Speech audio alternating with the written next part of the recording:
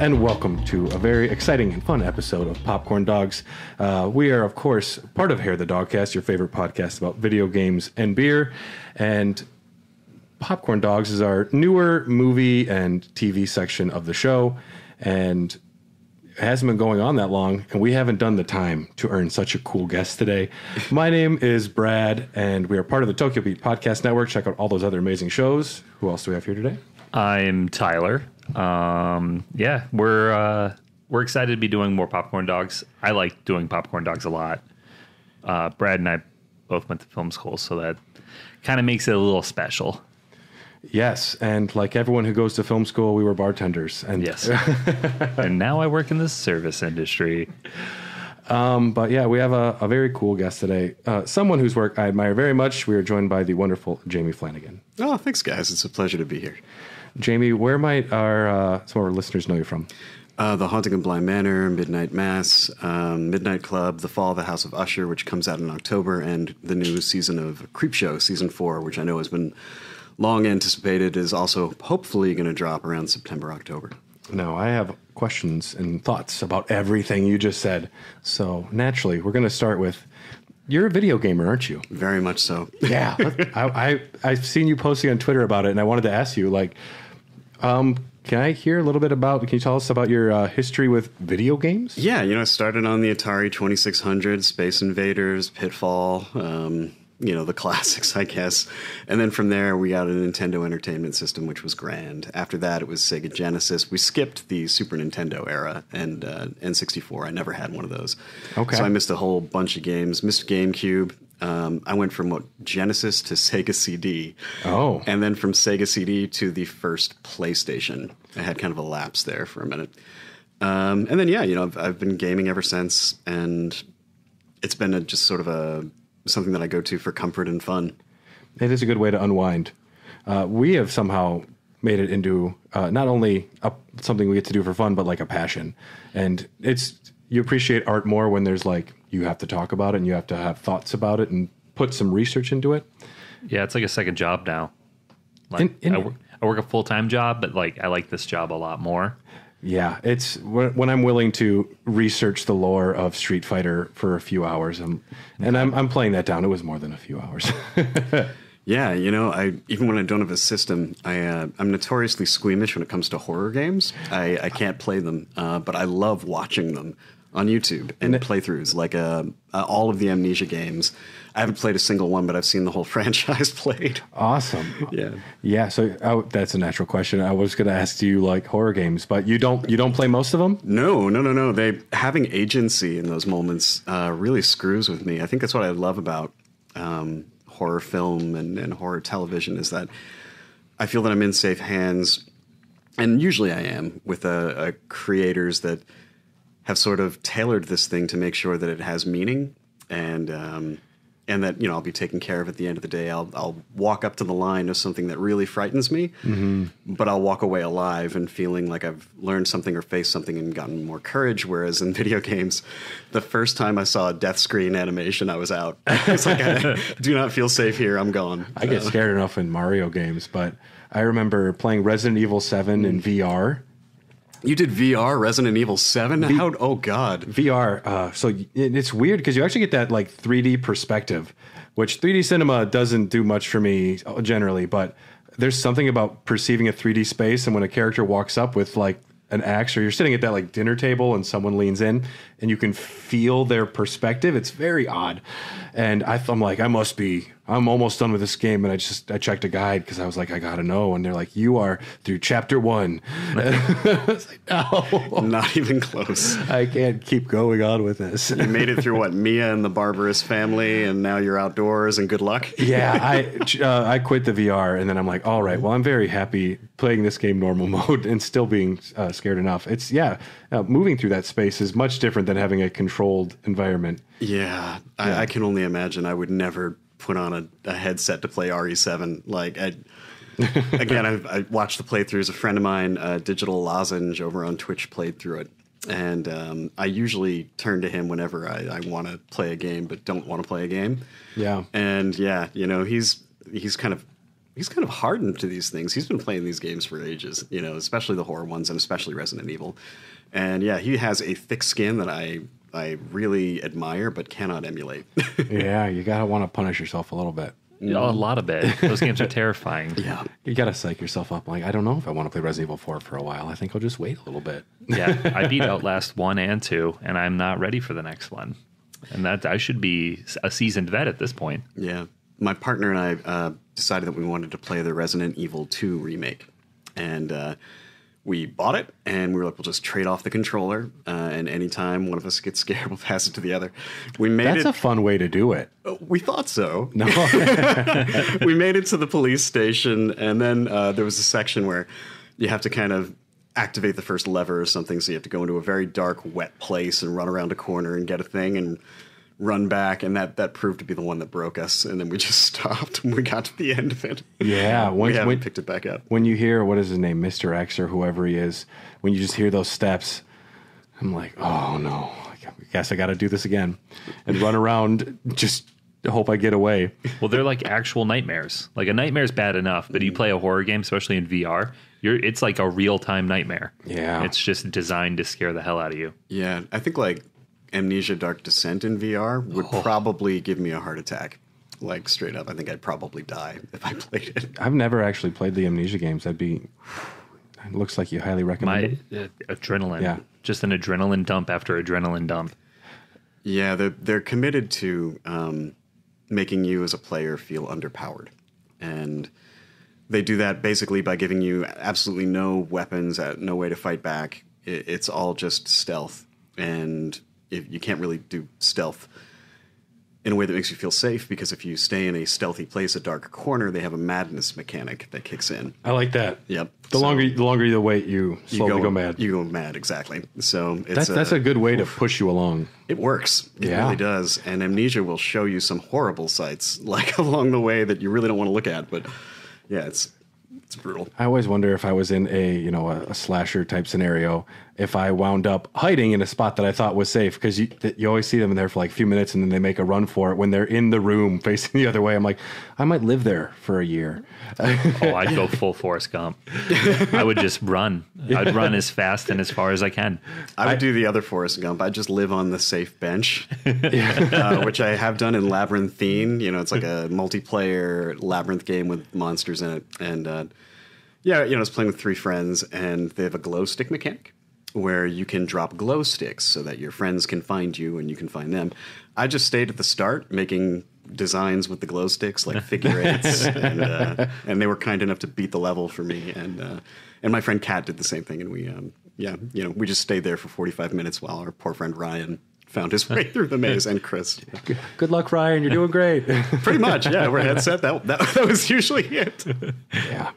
Uh, I, before we, we moved on to discuss some of uh, some of your works and your life, I did want to talk about the writers' strike uh, at the top. Uh, it's very important to discuss.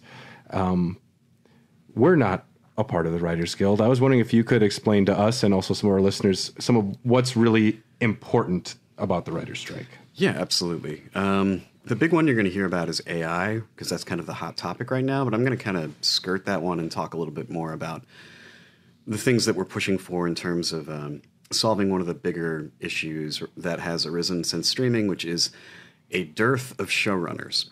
It used to be uh, you would work on a show, and no matter what level of achievement of writing you were at, you would be involved in the production of the show, in the filming of the show. You'd be on set if you wrote an episode.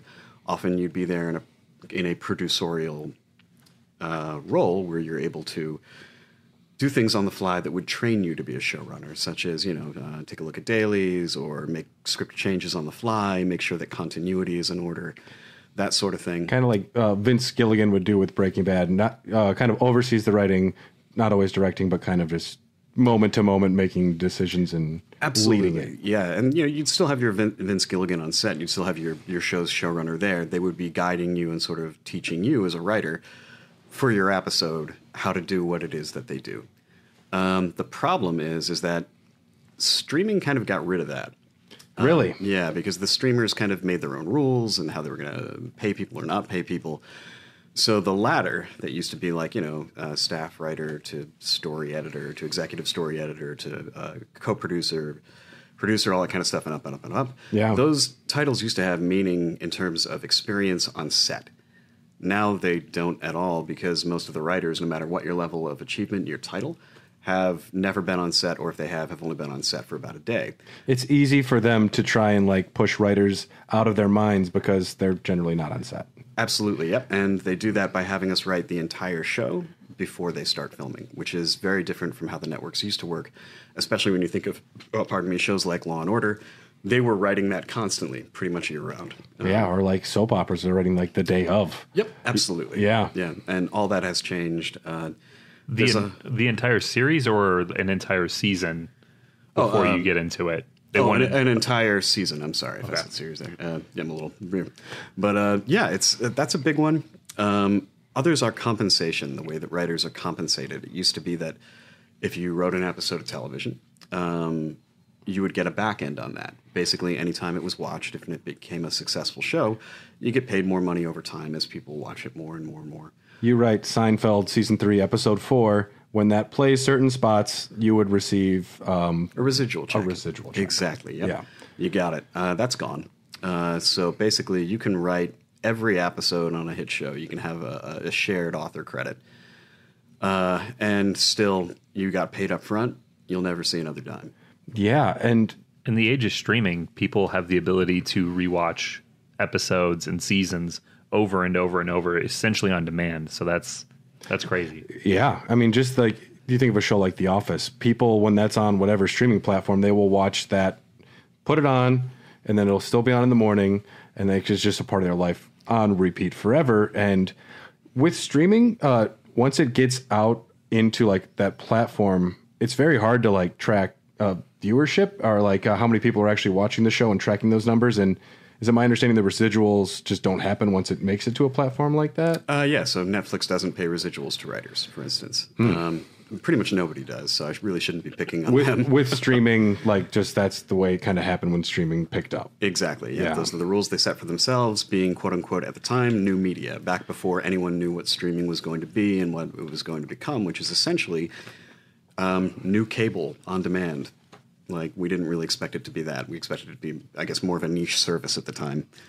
When you know the WGA has been trying to catch up and essentially secure themselves the same kind of deals that they had back before all this, which enabled writers to have a career. If you do, say, you know, as a lucky, lucky writer, do one show a year, you work for six months, and you're paid up front, and then you're unemployed for six months, and no back end, you can't make a living on that, especially if you have a family. It's just not going to fly. Yeah. Um, and especially if you live in town. If you live in Los Angeles, it's a joke. Like you'll you'll be working any kind of secondary job you can get as fast as possible. Yeah, And that makes, of course, you know, going out and getting writing jobs even harder. Um, so, really, if you're below the level of a creator or a showrunner, you're pretty much, yeah, you know, there's there's not much hope for you as a writer. It becomes a gig economy really quickly. yeah. So the goal for the strike is to what what, what is the, the end goal then for those issues? Yeah. So Is there like a, a is there like a list that like we want Absolutely. these bare minimums to be met?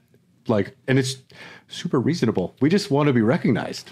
Yeah, there's um I was looking at this today. Let me pull it up actually. There's a you know, there's a list that the WGA puts up of what it is they've asked for. WGA and their negotiation committee has been really great in being as transparent uh, with their membership as possible to let us know what it is that they've been uh, asking for. And, you know, that breeds confidence in us because we know it isn't that they aren't just going to the mat to be like, you know, we want more stuff for our showrunners. It's like, no, they're, they're going to the mat for everybody. This is about making writing a, basically a profession. So, yeah, uh, if you head to the, like the WGA website, they have a WGA negotiations, and the status will be of May first. That pretty much lays out everything that they've asked for, and I get like a little charty graph there. Okay. but yeah, you know, most of what they're asking for is basically better compensation, back end, uh, guarantee that we won't be replaced by AI. Yeah. Um, you know, they aren't just going to essentially take all of our work, dump it into Chat GPT, and say, write me something like uh, Flanagan would. and all of a sudden it spits out something, and they're like, "Good enough." Um, same with just ideas for pitches. Um, you know, right now we we pitch shows, and then we sell those shows, and you become a showrunner. That's that's how it works. Um, now that's harder to do than I just made it sound, obviously. Yeah, But- I could imagine there's there's a lot to it. Yep. They would love nothing more than to be able to skip that part of the process. And by they, I mean um, networks. And They would much prefer to be able to use a program like ChatGPT. they just don't want to pay people what they like for their work. Exactly. You Yeah. know, and they would just say to ChatGPT, hey, um, you know, throw me an idea that has uh, teenage protagonists, magical powers. Make a Stranger in- Things ripoff. Exactly. Make it like Stranger Things, only slightly different. And it would spit out six nonsense sentences at them. You know what they do? They would take that, they would call it their IP, and then they would hire writers to work on it.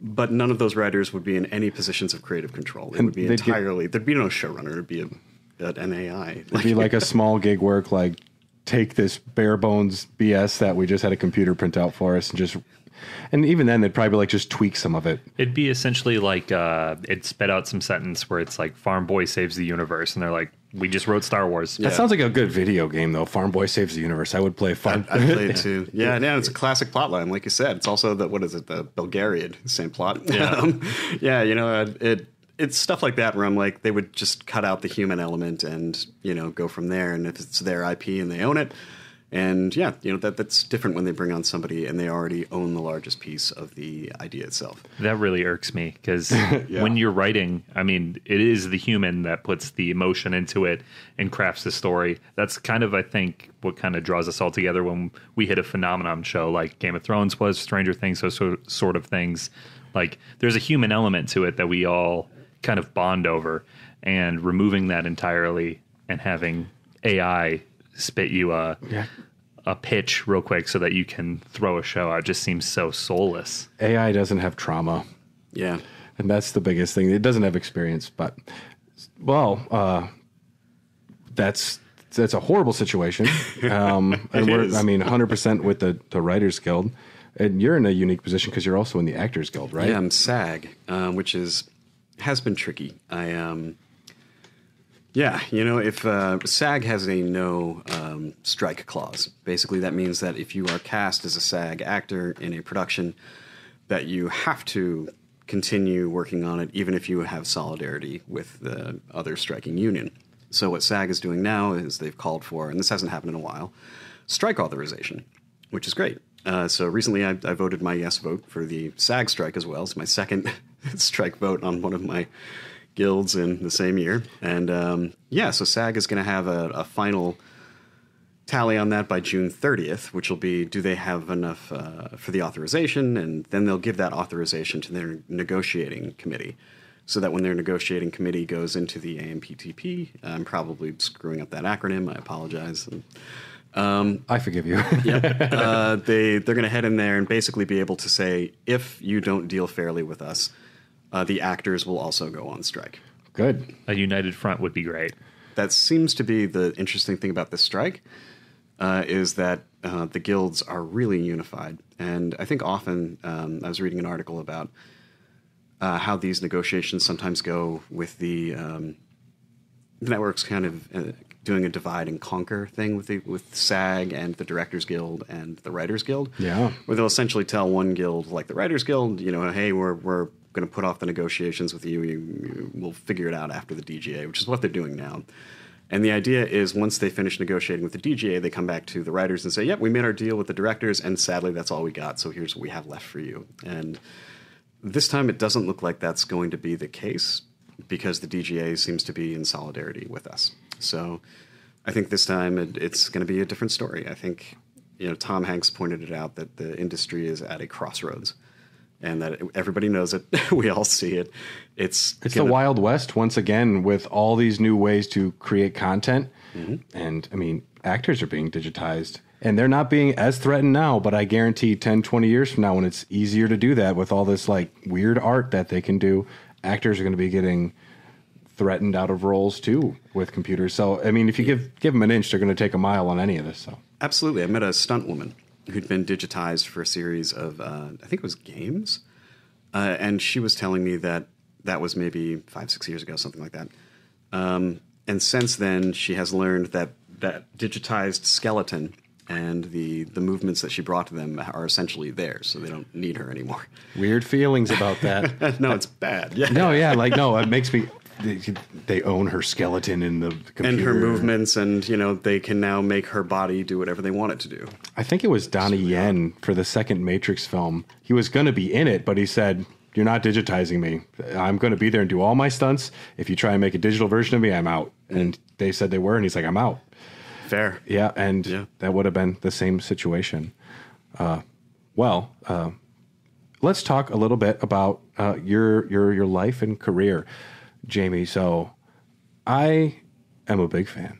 Oh, thanks. Spoiler warning. Uh, yeah, big fan of horror. Big fan of all of the shows that you have worked on. But let's um, kind of start at the beginning. I mean, you you grew up. You were born in Manhattan, right? Uh, sort of. I was born on Governor's Island, which is a little three mile Coast Guard A little island. crock off- pot or Yeah, something. Exactly. Yeah, very much so. Yeah. Very much so. So right off Manhattan, there is an island uh, to which there are no bridges and no roads. Uh, you can only get there by ferry boat. It used to be a Coast Guard island.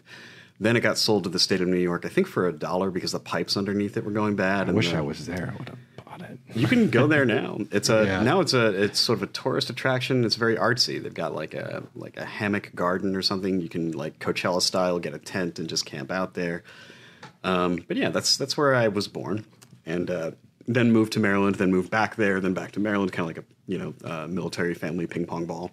Yeah. Um, and uh, yeah, you know that was uh, that was that was the early days.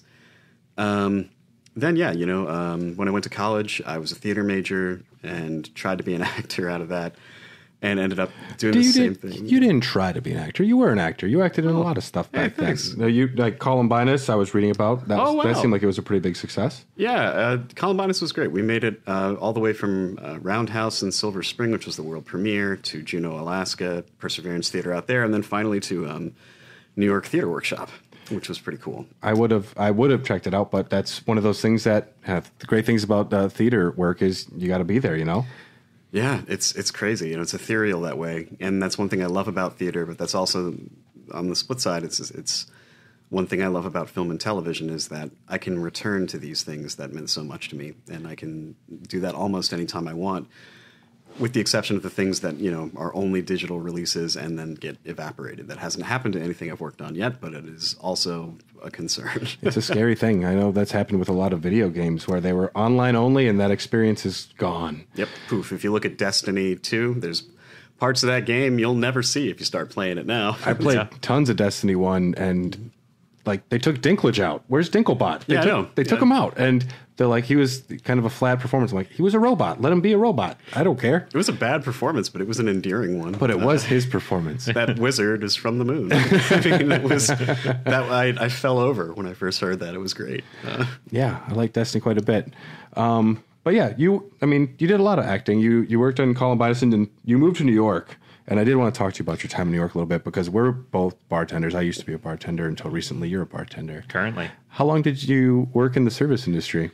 Uh, the full two years that I was there. Okay. Um, I never worked in a show again uh, in that space in New York. Okay. I never auditioned again after that. I, well, I did that one show, and then I moved in with a couple of pals out there. You know, about four or five of us living in a three bedroom. We built fake walls. Ten thousand dollars. Yeah, exactly. The guy who who lived in we had a little you know there's a basement on there and we we laid a, a plank of wood on the staircase leading to the basement, put a twin bed on it, walled it off. That was the room. um, yeah, you know he paid like six hundred bucks and he'd been there before I was. Like he he was there for the when that was built. I say we built it. I wasn't there for that, but the same name had been on the lease for about ten years, um, which is kind of crazy. Yeah. Uh, you know, to keep the rent control down, I guess. I Um, understand. Yeah. yeah. You get grandfathered in on those, you know, prices. Do you want to keep it. Yeah, and so you know, I I did what you do, which is I I walked around, you know, and I beat the pavement, and I went into anyone who looked like they were hiring. Um, I filled out applications and just lied through my teeth about places that I worked or bartended or was a server at uh, in places that did not exist because they want New York work experience specifically, and I had just moved to New York. Yeah. And I'd never been anything besides a host before, but I was like, I don't want to do that again. I want to be a want to be a server or bartender. I ended up talking my way into a, a couple of gigs, and they were all disasters. I was horrible. I was, I was, oh man, uh, I was a decent bar back, but shh, ask me for anything more than an and drink, and I, I just I pity anyone that I served for those two years. they, they were drinking, just you know, the equivalent of jazz cocktails. I was just you know making it up on the spot. Yeah. What's in this one? I don't know. I, I'm thankful I'm just a beer tender. I don't got to make cocktails. It's hard to mess up draft beer. Nice. Yeah, It's real difficult. That's what I was doing as well. Yeah. uh, wor- uh, worked in craft breweries for like eight years, and when someone orders a beer, it's hard for me to mess it up. Yep. Uh, Yeah. I've seen people mess them up, but yeah, if if it's a cocktail, my wife has graded them, but I am. woo, I'm. I'll just dazzle you with conversation, but don't ask me to know what I'm doing. I had the misfortune of working mostly fine dining, so you dress in all black. Uh, one was called Seven Square. I think it's now a Serafina's. The other one was called Bar Stuzzichini. I think it closed during the um, the pandemic. But you know, I tried to go back to Bar Stuzzichini and to and to Seven Square again to Seven Square only to find the Serafina's uh, right across from. Uh, I think Chicago used to play across from it. I don't know if it still does now. Uh, over in Times Square, and then Bar Stuzzichini is a little further downtown. But um, yeah, you know, it's it's crazy. It's just strange to see those places reimagined. Um, Seven Square had been part of the Time Hotel, so it had been kind of attached to it that way. And you would spend your time between Seven Square, that kind of upscale restaurant downstairs, Yeah. and then you know, like uh, you take a short elevator ride up in the glass elevator, and then you're at the Time Hotel lounge. You know, and I kind of bounced between those two places. And you do a lot of promoter parties in the upstairs ones, and those were great nights because it was just like Grey Goose and like cranberry or just Hennessy. Like that was most of what I served. And then you know you're, you're getting the the security guys hopped up on Red Bull, which is a bit dangerous, but that's the other part of the job. um, yeah, I I don't. so you didn't you didn't love the service industry. No, but I'm glad that I did it. Um, it you know it taught me a lot about hard work, especially in New York when you're open until four in the morning. That sounds rough. Yeah, that those hours are brutal. You Yeah. know, um, they really are. You you age quickly, and you see a lot of things that make you age quickly. You get tired. That's a lot. Those were late nights. Uh, You moved into uh, being an echocardiographer then. Oh yeah, yeah, I did that for a while. So I was 30 years old, and I, by then I'd already gone back to DC and, and acted again for a while, whilst doing a bunch of other things like adjunct teaching and oh man, what else did I try? I forget a ton of things. If you, you just throw everything at the board, something will stick, right? that was the hope. You know, I had a theater degree, so you know, I think anyone out there with an arts degree will will agree with this. It's almost impossible to find uh, a job that will sustain you in the arts. So yeah, you know, I, I went back to school. I did prerequisites for medical, not knowing what I wanted to do. I thought maybe PA. That's a safe thing to do, though. Like just do prereqs, and you can kind of make more of a decision along yeah. the way. Uh, originally, I went in for med lab tech, and then learned that I don't like poking other people with needles. Oh man, I couldn't do that. No way. I way. Couldn't either. And then, yeah, you know, I uh, my mother was an office manager, and I asked her who the happiest person in her office was. She said it. It's our echo tech, and I was like, oh, cool. So I became an echocardiographer, and I learned that unfortunately, uh, the person that I had been introduced to, Emily, is just a very happy person in general, and it didn't actually apply to the job. Um, I did that for six years, um, and I was in a community hospital for a while, Yeah. and then private practice. And uh, again, I aged a lot in those years. That's that's a that's a tough job because what you you you do heart scans and you Yeah. that's what it is, right? So Yeah. basically, you're you get your 40 year olds who are just there for a tune up, but most of the time you're dealing with people who are you know um, in some stage of dying.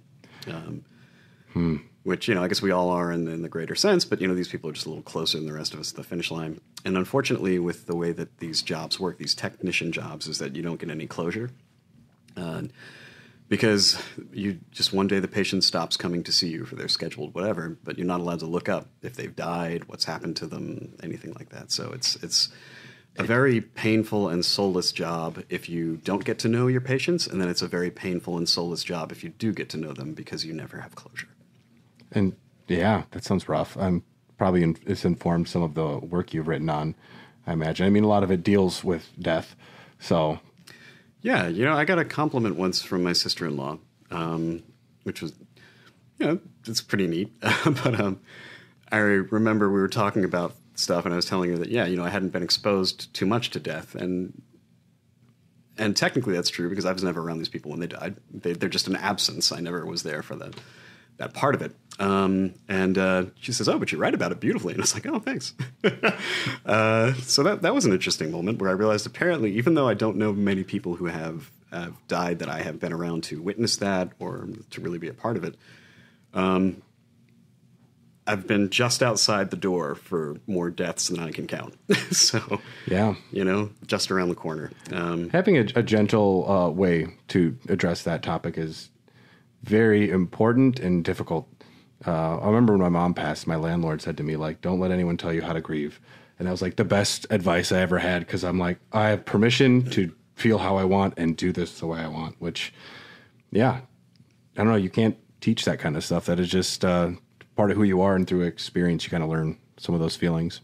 yeah, for sure. That's great advice. Yeah, I really like that one. Uh, and I know you're not listening, to Doreen, but her dog's getting put down today, and I'm sad I couldn't be there to be there for her.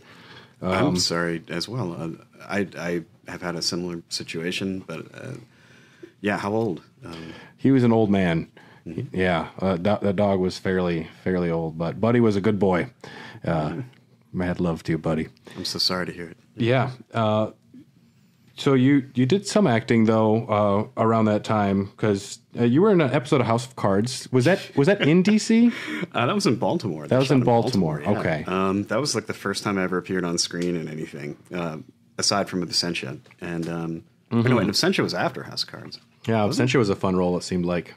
Yeah, yeah, Absentia was great. Yeah. that, that was that was like you know, back when we just felt like a scrappy group of people making making whatever we wanted. You know? Yeah. and uh, changed a bit since then. on the fly, on the cheap. What do we got? Look at this tunnel. That'll work. Yep, that pretty much. Yeah, that was it. Yeah. Um, my brother had you know called me up and he's like, I'm you know making something for my friends' reels, my acting friends. We want to make want to make them something for their reels, and here's what we got. You know, we got we know what wants to be horror. We have my apartment, and we have this the tunnel. Um, as you know, beside it. I was like, oh man, yeah. Uh, off the cuff, you do Billy Goat's Gruff. That's as far as I ever gotten to advising that project. He wrote the script on his own, and you know, broke it on his own, did all that. Uh, but yeah, that was my small contribution. Was you know doing urban contemporary Billy Goat's Gruff. So House of Cards, you were there for uh, just for one episode. Was that like a couple days, like a week or so? Uh, no, that was, a, that was just a day. I was a day player. Uh, Okay. I came in and uh, I had half of a line. It got cut off with an M dash, and it's in Ep three. I think you can still go see it. in the I saw it on your reel. Yeah, that's it. That's the entirety of my performance in that, in that episode. Nailed it though. Oh, thank you. Yep. uh, and basically, yeah, I went in and it was such a, a throwaway line and a throwaway part that they didn't they didn't have a seat for me at the table to say it originally. Um, and when I kind of blurted out the line, they all looked at me surprised and then looked at their scripts and they're like, "Get this kid a chair." this guy needs a chair. Yeah. Um, but yeah, that was that was fun. Uh, I got paid more for that than I did for most shows that I've ever been in. Um, So, a large amount of your career, of your professional uh, filmography, your acting, your writing, is with your brother, Mike yeah. Flanagan.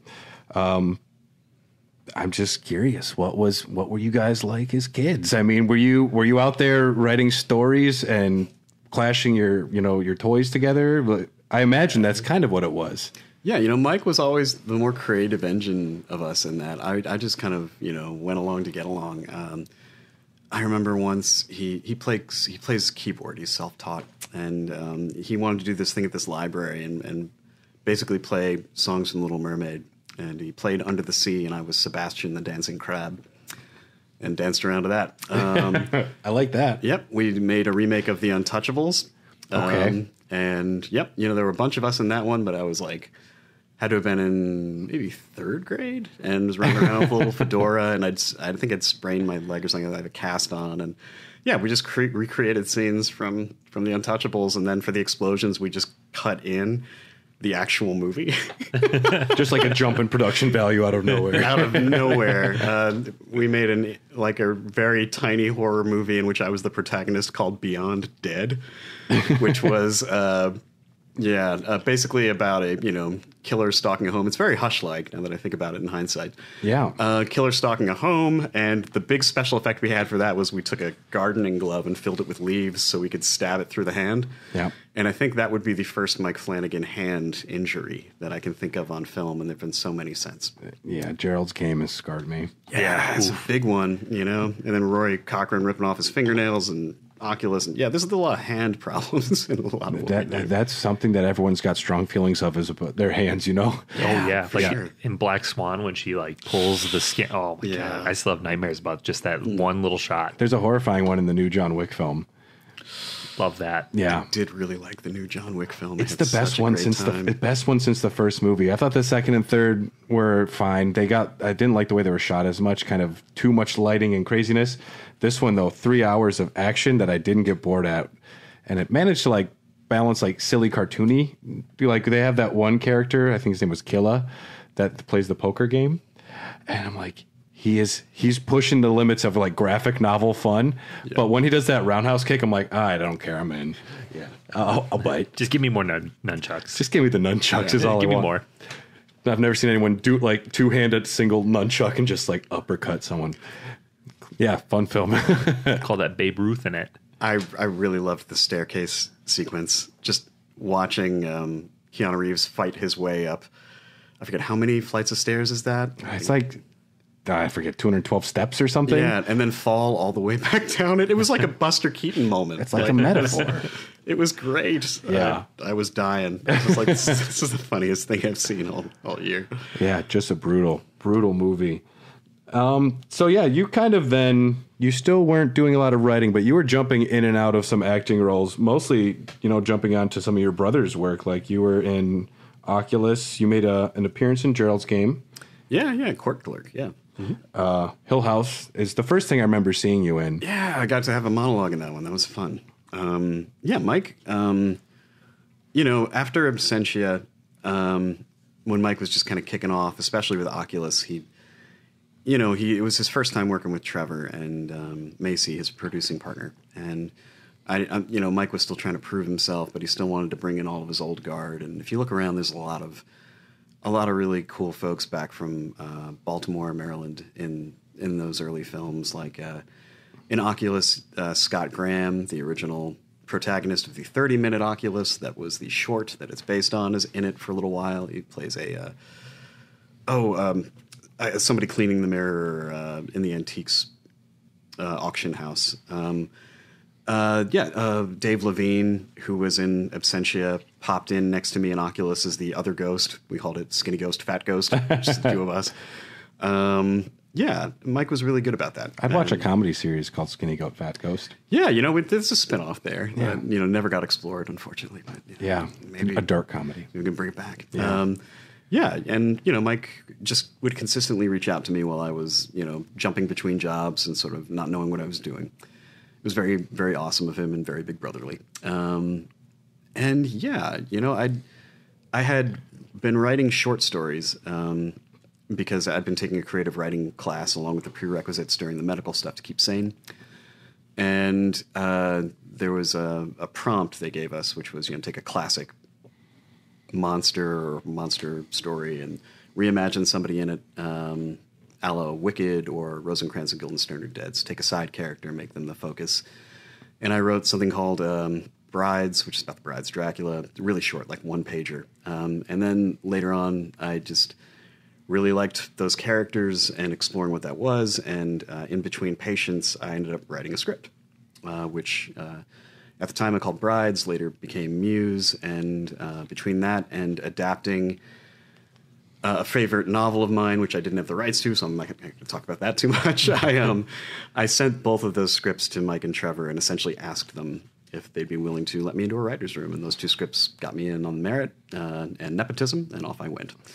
And uh, You had to prove yourself, though. I mean, if Yeah. you if you had to send those scripts in, it's nice that you had someone's ear, but it sounds like you also had to do in the the work. So Yeah, you know, and it's a double edged sword. I'm not going to complain too much about it because I've had more opportunity and more privilege than I deserve. Um, but yeah, you know, it, um, when you're in those rooms and you have the same last name as the showrunner, but you aren't on that level, it does put a, a target on your back sometimes for some people, and so you kind of have to ride that out. Um, but again, that that doesn't outweigh the privilege. so it's uh, It's fun making movies. It's fun being there, and your fingerprints are all over uh, the work you've done. yeah, thanks. Yeah. I I like to think so for sure. Uh, When you when you hear those words come through when you're watching a show, that's got to be a pretty cool feeling. It is, and my favorite, uh, hands down, is Midnight Mass, um, which I know is Mike's favorite as well at, at present. Um, though I think Usher might be giving it a run for its money uh, for him. He's been talking a lot and very excitedly about it. I haven't seen haven't seen the episodes of Usher yet, but I'm very excited. Um, I know he is too. Uh, but yeah, Midnight Mass um, is so immediate to um, to the uh, the childhood that we shared and uh, how we were raised and the family members in our lives. And you know, uh, Mike's had his struggles with alcohol. So have I. I got my first DUI the first time I lived in Los Angeles, and then you know struggled with alcohol pretty much ever since. Um, it's um, there's a lot in that show that was extremely cathartic to write, but even more cathartic was hearing it filtered through exceptional actors who basically brought those words to life and made them sing Hamish Linklater. Oh my gosh, I- man! I, I I've never been just so blown away by an actor because I hadn't seen him before, and I said, "Who is this?" Yeah. you, the way that you, you can feel him thinking mm-hmm. the, through the words and like just laying out the tracks in front of his railroad that's just flooring like forward. Oh, It's almost hypnotic when he's on because it's like you don't want to blink. Like his delivery of the lines, I, you just Yeah. it feels like it comes from a different place. if we had a priest like that in Catholic school, I would have been paying attention. And honestly, that's kind of what we were doing. We had a nice priest when we were kiddos named Father Stack, who was just a genuinely fun person to be around and just nice, accepting guy. And um, I think a lot of how we perceived him went into um, Father Paul and and basically when I I had a shot at a couple of the monologues and a lot of what I wrote is still in there. I was I was writing a priest I would have loved to have had. I was writing the person that I wish had been a spiritual leader. You know, both of us went to Catholic school, uh, grade school and high school, and then both of us ended up on my worst days. I'm agnostic. On my best days, I'm an atheist. I know Mike's an atheist. yeah, Yeah, you know, it does something to you. Um, yeah. Anyway, I feel like I trailed off there for a sec. I was enjoying every second of it. yeah. Um, before we get into the big three that are already out, I did want to just mention a couple other things. Uh, first, I really enjoyed Equinox on Paperless Pulp. I thought that was a fantastic, fun little uh, podcast episode. Oh, thanks. I appreciate it. Yeah, that was some of the later later acting work I did for fun with just p- theater people who were doing something new. They're like, "We're doing a podcast. Do you want to do a voice?" And it's like, "Sure." Yeah, that seemed like a fun little project, and I liked the the story, getting stuck time traveling to prevent the the wrong thing from happening. Yeah, Yeah. Those are always good stories. And Apocalypse Airbnb was very fun too. Finding love in an apocalypse is a cute prospect. Apocalypse Airbnb was is the probably the most farcical thing I've ever done, which is really not my mo. I tend to when I'm on stage underplay everything, so the director had to drag this vocal performance out of me that was very sort of loud and pushed and precise, but that worked for the comedy of it, I guess. you got to Uh, keep your place clean. You got to keep it organized. yeah, and sometimes it makes you loud. I think. Uh, I like The Shining a lot. Oh boy, here we go. So like, I'm like just inked up with Kubrick all over my arm here. Oh wow, look at that. So Doctor Sleep, man, that's a that's a tough thing. And it like I was I'm like, I don't know about this, guys. I don't know if we need a sequel to one of my favorite films of all time. And then I saw saw Mike was doing it. I'm like, I, I really trust him. I don't know if I want this. And then of course uh, it wasn't what I expected, and it was fantastic. And yeah, you got to be a member of the Knot. That must have been a fun, fun It, couple it days. was, yeah. Being a member of the Knot was a blast, um, and I love what Mike did with that one. You know, that he basically gave gave Doctor Sleep the ending that The Shining Room has in the book. He gave King back his ending. to try and keep uh, King fans and Kubrick fans happy at the same time because those camps were against each other for a long time. Very much so. Yeah. And you know, bringing back the Overlook was really um, from what I've been told, I can't talk about this firsthand. Like I was in the room for these decisions. I was Sure. not. Yeah, yeah. But um, from what I've been told, like bringing back the Overlook was very sort of controversial and difficult to difficult to sell. Mm-hmm. Uh, but Mike managed to sell it to King by describing the bar scene and you know that idea of sort of generational trauma and uh, alcoholism and recovery. And apparently, that's what that's what sold it. That's what got it done. Um, and that scene remains one of my favorite pieces of Mike's work. Yeah. I can't believe that they stuck the landing on that movie. I, I wanted to be upset the whole time and I was enjoying it. And it was hard for me to admit that for a while. yeah. I'm very unapologetically. I mean, my whole right arm is dedicated to my homie Stanley. So I'm a pretty big fan.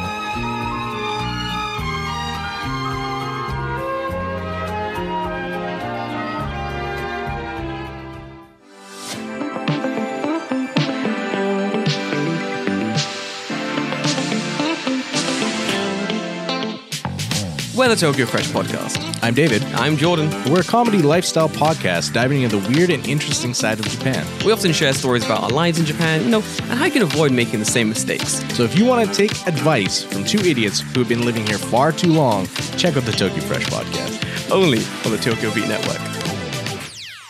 Today's show is brought to you by EPOS Gaming Audio. With a comprehensive lineup of both wired and wireless headsets, gaming amplifiers, microphones, and webcams, EPOS has everything you need to experience the power of audio.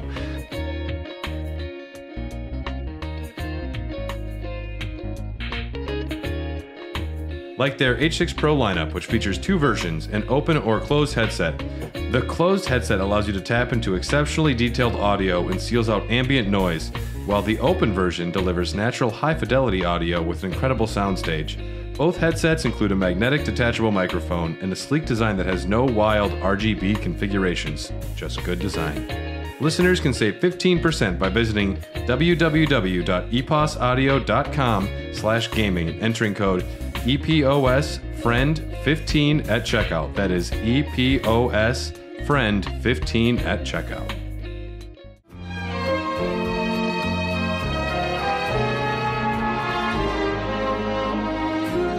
So, now that we've mentioned a lot of those other things, I'd like to talk about some of the big ones. Like uh, Bly Manor was the first one that you kind of moved into working with uh, Mike and his producing partners. I forget you, Tre- Trevor Macy. Uh, Trevor Macy over at Intrepid, yeah. Uh, that was the first one I wrote on. I was a staff writer. Uh, it's the lowest totem, you know, where you start in the, the ladder, and we had some really lovely writers on there. What what uh, what does a staff writer like? How does what does the contribution look like? Is it uh, sitting around in a room? Is it like here's episodes, everyone just vibe a little bit? Basically, yeah, how it worked with that one, uh, because we didn't have the whole season mapped out when we first started, um, was that all of us met together in the room. Didn't, didn't really matter what your title was as long as you were one of the writers. Um, you meet at a big old table. You come every day, and all of you kind of rank regardless. Just start pitching ideas and building episodes together. So it's essentially just like an open blue sky. Yeah, yeah, like and that's no ideas too wild, no ideas too crazy. Let's see what you got, sort of thing. absolutely. And blue sky is a word we throw around a lot. It's one of my favorite terms. Yep. So for that one, we all went home and we are each assigned a Henry James story.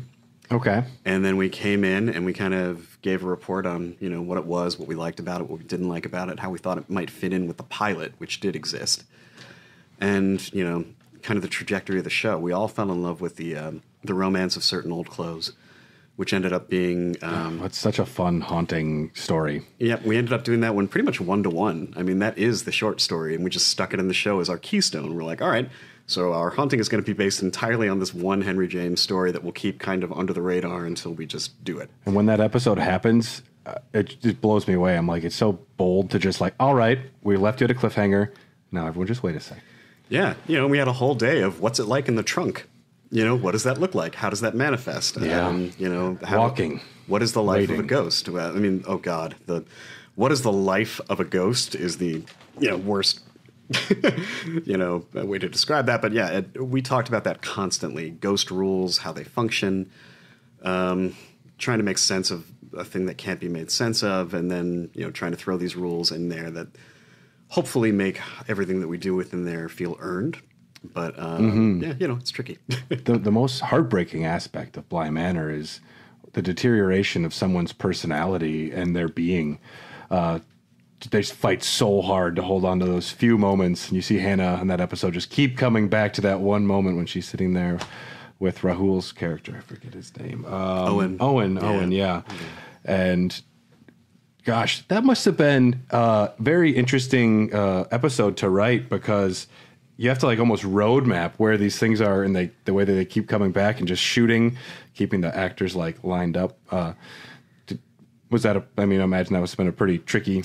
Yeah, scenario. yeah. So we broke that episode as a room, and then Mike went back in on that one and did some pretty heavy rewrites, uh, basically to map it out and make it make sense. Um, but yeah, you know, the, the timelines, especially because we were we were juggling, you know, quite a few in that show.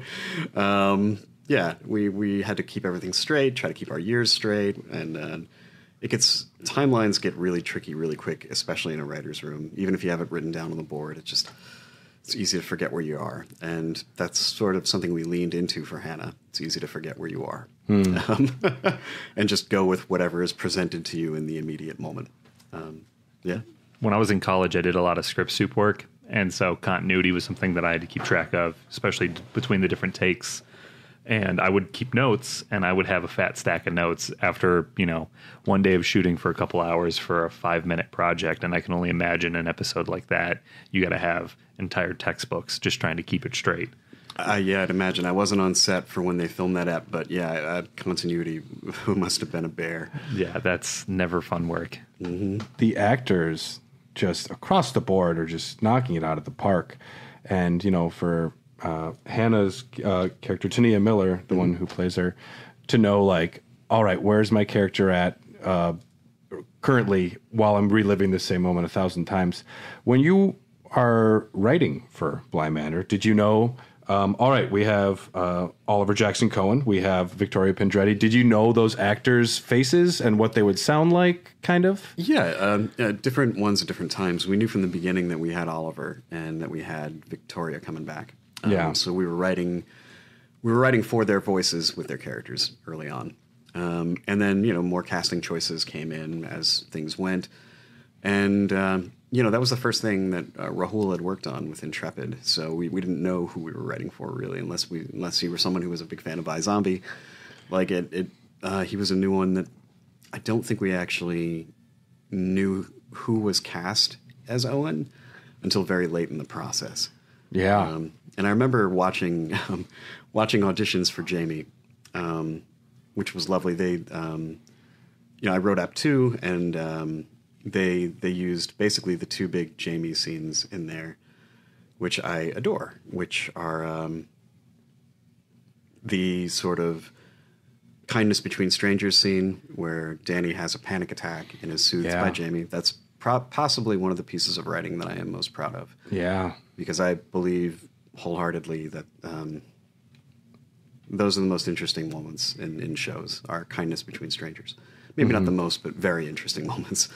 I don't want to get hyperbolic. Um, but Sure. um, yeah, uh, I really like that scene. There's a delicacy to it.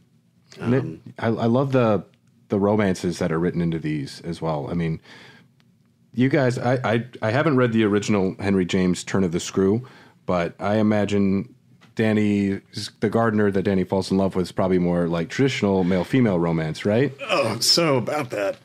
Yeah. she doesn't fall in love with the gardener. Uh, Okay. and she ends up killing one of the kids. And, Oh, um, I haven't read that book. I- Yeah. I, just bought it, and it's not too big, so I was going to check it out. But spoiler for Turn of the Screw. It's a lot darker than Bly Manor. interesting. Oh man, and it's more about um, uh, subjectivity and mania almost. Uh, you, you get a person so convinced that there is this haunting taking place that they cause harm to another character, and at the end, you're left in an in an ambiguous place Yeah. as to whether or not the haunting was real and was, Okay. was justified, or if this uh, governess just killed a child for no reason because of their own mania. Yeah. Um, and that's you know the genius of Turn of the Screw. We couldn't really replicate that, uh, so unfortunately. yeah, I mean that's the, the nature of the beast. If there's something on screen that's kind of like written in stone a little bit. Yep. There's already a film adaptation of it that does it beautifully called The Innocents. Okay. Um, very much worth a watch. And we took the the song from that the, the soundtrack. There's a hummed song uh, beneath the weeping willows, I think it's called, and we we took that and kind of made it a very central part of our show as homage. But we didn't want to just recreate what was already a grand success because we knew we'd le- never live up to that. So we went off and did our own thing, as is usually our way. It's great when uh, a lot of these projects, I know, like Christopher Pike, you'll wind up referencing a lot of stories. It's great if you go to a, a well known author and you're like, these these are all really great, and we can implement a lot of this, and it's kind of an overarching homage to uh, a lot of the things you love. Yeah, for sure. Uh, we love that about adaptation in general, is being able to tip our hats to who we're adapting. Um, and then at the same time, we, we really like to sort of make those things our own. I think when someone reads a book and really loves it in their head, they've already cast it differently than the author ever did. They're already assigning different assumptions of emotion to characters than maybe the author did. That you make it yours, in essence, by reading it. You know, you picture scenes differently. You're taking part in it. Exactly. Yeah. So yeah, we, we do something a little bit more extreme when we chop it up, throw it in the air, and see what lands. But it's the same principle. You mentioned music, and there's one thing I did want to ask about because there is a recurring uh, song that happens in a lot of um, Mike's work. Uh, "Go Tomorrow" by the Newton Brothers, that lovely piano like haunting piece. Is uh, is there a certain context or history to that song, or that's just like the haunting song? Because that's in also Ouija, the the prequel Ouija movie that he did, Beginnings, I think it's called, Oh, uh, Origin of Evil. Origin of Evil. I remember watching that- successful film on Rotten Tomatoes. His highest rated film and his highest rated work Interesting. is Ouija: Origin of Evil. It's fantastic. I remember great, yeah. I remember watching it and be like, this is the second one? What's going on here? Oh man, no, it's it's great. You know, that was one of those ones where you know Mike was handed a franchise that you know had, had you know didn't have the, the greatest reputation, and um, the level of expectation I think from the studio was so you know, the bar was low enough that they just didn't care what Mike did. Just so he go got make it. away with murder and made something pretty great.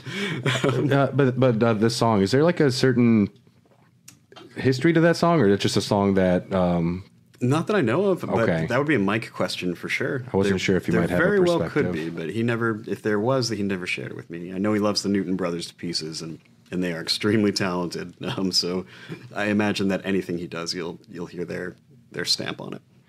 well, uh, I guess we can talk about the midnight mass in the room. Sure. I almost have. I almost wanted to like just call you up guys up and yell at you. It's like, how did you follow my life as a child? How did you know about this stuff?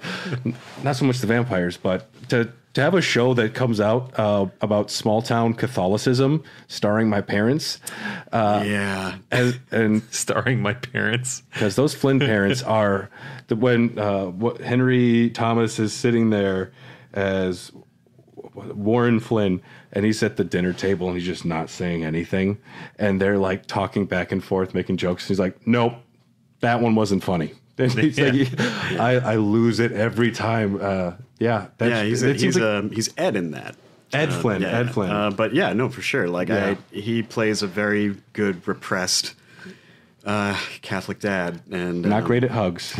No, no, not good at emotions. so when that scene when he does uh, breaks my heart. Yep. Yep. Same. Um, he, I think he has one of the more profound lines in in the piece, which is that you know, and the metaphor, of course, is religion. Religion doesn't change who you are. You know, like when he's talking about being able to not chomp down on somebody's neck after he gets turned into a vampire. Yeah. He's like, whatever this is, it don't change who you are. And I'm like, yep, that's religion. If you get into it and you use it as an excuse to be a fanatic and go do horrible things to other people and you use it as a an excuse to hate, that's because that's who you were before you found it.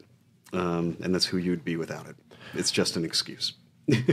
the there's so many so many big fun great awesome moments in that show and i had like a, a smaller one that i think every time it happens it just blows me away and it's when um, annie flynn she comes out of the burning house and she goes to beverly king she's like you are not a good person and i was like get her Yep. Yeah, well, you- yeah, it's like she just like threw like the fists her out. I was like, and that's the only thing that ever I saw Bev make her like take a moment back to hear Annie Flynn call her a bad like a bad person. Yeah. it's great seeing her just like, whoa, That's the only thing that's ever It- bothered her. it's so satisfying because you're waiting for her to get her comeuppance the entire.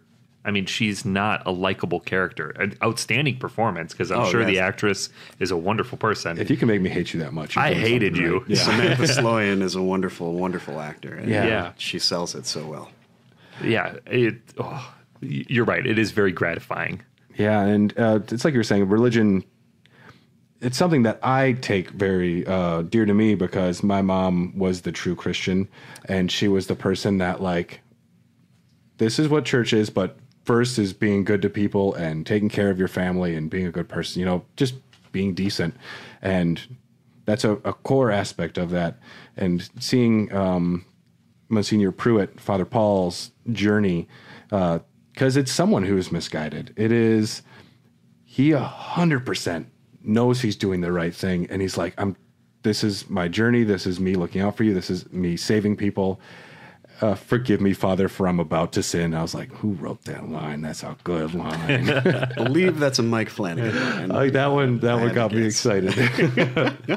but yeah, I mean, to watch the perversion of religion in that show uh, struck a chord to me, and it, it's it's not the show that I was necessarily looking for, but it was kind of the one I needed. Yeah, no, that's fair. Um, I think the show sneaks up on you. Um, you know, the first episode or two, you, if you go into it blind, you might think it's about a religious revival, and then it doesn't really reveal itself until three. And then after that, it, it just continues to reveal itself. Yeah. Yeah. Um, and yeah, you know, then you're in, you're in for a very different ride with a very different point. Um, but yeah, you know, back to you know Father Paul. I think that the importance of that is empathy and just trying to, yeah, essentially give everybody the benefit of the doubt that they're trying to do something right, even if it goes wrong. Mm-hmm. The only character that maybe we didn't quite nail the landing on the empathy for is probably Bev, because that one's real tough. But th- those people exist, and you know, um, you meet them in a chat room, and there's really no way, or you see them on a picket line, you know, with a sign that's telling you you're going to burn in hell. Like it's really hard to make a good version of that character that walks home, and you know, then you can really relate to. We never got that to that place with Bev. at some po- at some point people go to a, a spot where I'm like I can't try and like redeem you right now. Yeah. Uh, you were lost at a certain point. You can come back, but uh, for me, it's hard for me to. You, that that dog didn't do nothing to you, Bev. Yeah, that that for me was one of the missteps actually of Bly Manor was that we extended or tried to extend an explanation or an empath- empathy for Peter. Um, Peter Quinn, uh, Peter Quinn. Oh yeah. or yeah, and uh, and uh, yeah, you know, I I just felt like, yeah, you know, we, I felt like that scene was letting him off the hook. I, I don't. To me, it doesn't let him off the hook, but it's good to inform. I feel uh, good to inform the audience. Like this is how he became a bad person. Like trauma or like uh, horrible treating people horrible begets um, more negative feelings down the line. Sure. Yeah. I just wish we hadn't blamed it on his mother. It's like here's this guy, you know, clearly gaslighting women, and the source of it, we are like, is this abusive woman? You know, like that. That to me is a misstep. But you To- know, that's that's only my two cents. for for me when they were still trying to be like Rebecca Jessel, she was great. She was wonderful. I'm like, she was kind of not the great person. Like she started off good, but she was immediately just like going off the deep end for this. But you know, love makes you do weird things, I suppose. Midnight Mass was the probably the first piece of your work that I watched, and because Netflix is not my primary streaming service, but I'm very anti binge. sure. Uh, I like to digest my episodes. I like my weekly episode. I like to talk about it with my friends, and I watched all of Midnight Mass in one day. oh wow. Um, okay. Once it got going, it really hooked me. And I did have a question about the writing of that. Um, in the writer's room, were you guys thinking pace when you wrote the episodes? Because the pacing of that show, it's kind of a slow burn at the beginning, like you said.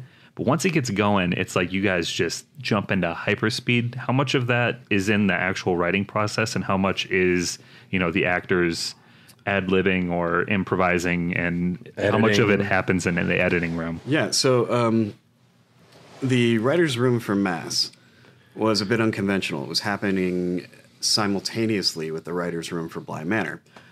As a result, Mike was kind of pulled between two worlds. The scripts in Midnight Mass didn't get finished by the time the rooms closed, and what they were left with was a couple of drafts and a couple of outlines. So over the course of five weeks, uh, basically, I was given the task of rewriting episodes two through seven. Uh, I had not been part of the writers' room. I was brought in after that room had closed to basically put these scripts in a better place before Mike took his pass. So, in terms of pacing and all that kind of stuff, uh, it was definitely meant to be a slow burn, and I imagine that's what they had discussed in the room. Um, but I can't speak to it because, again, I wasn't in the room. I was my own room by the time I started rewriting, um, which was a crazy five week marathon. I, I pretty much just woke up, went to my laptop, wrote all day, and then went to sleep. Just lived, up. lived on the crock pot. Yeah, it was insane. I, I again, this is one of the reasons we're striking. It's pretty unheard of to ask somebody to do that, uh, especially when some of the the rewrites were completely scrapping and writing from scratch scripts, or you know the ones that just had outlines, writing those from you know just an outline is that takes a lot of time, and normally you get two weeks a pop to do that. I had five weeks for five scripts. Yeah, I asked It was bonkers. My name ended up on a lot of those episodes for a reason. Yeah. and it's because I did a lot of writing on that one. Um, but yeah, it was it was bonkers. Um, it was absolutely bonkers. Sorry it was bonkers, but thank you for. Oh hey, yeah, I'm happy to. And you know, at the yeah, at the end, um, you know, Mike did his pass on it and still has the majority share of the words in that show.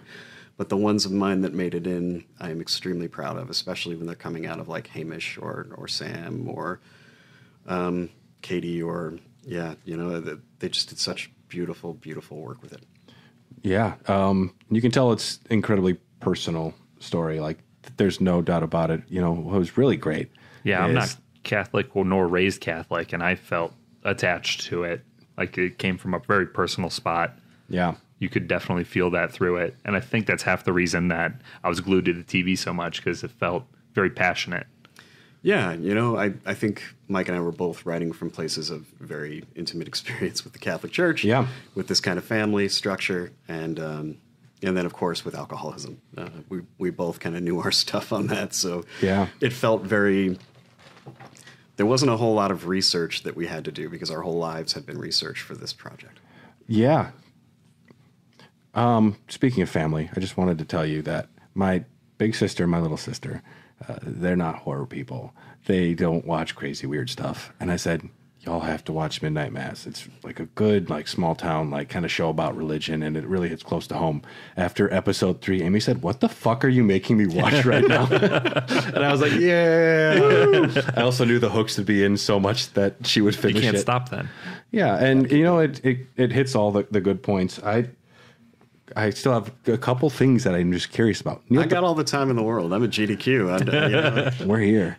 Uh, Was Neil Diamond in the script, or was that in the editing room? my mother used to listen to Neil Diamond. I thought that might be it. and you know i was not as cognizant of that because i'm three years younger than mike Okay. and at the time that she was really into that i wasn't really clocking you know names of artists i was like six um, but mike was you know and so yeah you know he, he took that song from things our mother used to listen to and uh, the suliban and you know he had that Holly um, Holy. Holly that, Holy that montage is amazing. Just give me that to eat every day. I could be a full man.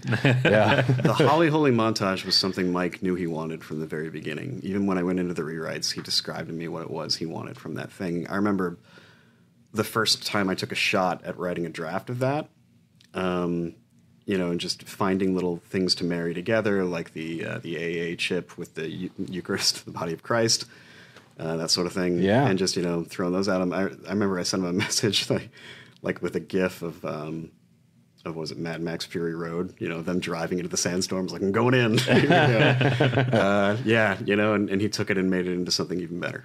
Um, pretty Yeah. amazing. I figured Neil Diamond must have been part of your childhood or like around some of the story because it it just feels right. And if you were to tell me my new favorite show is about Catholicism and Neil Diamond, I'd be like, I don't trust you guys. But now Holly Holy, I listen to all the time. Brad, that's how Brad pitched it to me when he. I was like, "Which one should I watch first? He's like, "Go with Midnight Mass." It's about Catholicism and Neil Diamond. I was like, "Sign me up." Yep, heck of a soundtrack, and yeah, that was one Mike knew he wanted, like for sure. That that song in that place at that time. Yeah.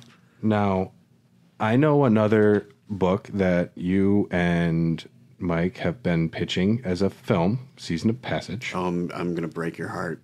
Is it done? Uh, we we finished adapting it over a year ago, and Universal's not going forward with it. We took it around town, and it's not going to get made. Okay. Yeah, sorry. Fantastic book. It's a great book, and it remains from our childhood one of our, or not even childhood, mo- more like our teenage years, one of our favorites. I see some DNA from Season of Passage in Midnight Mass.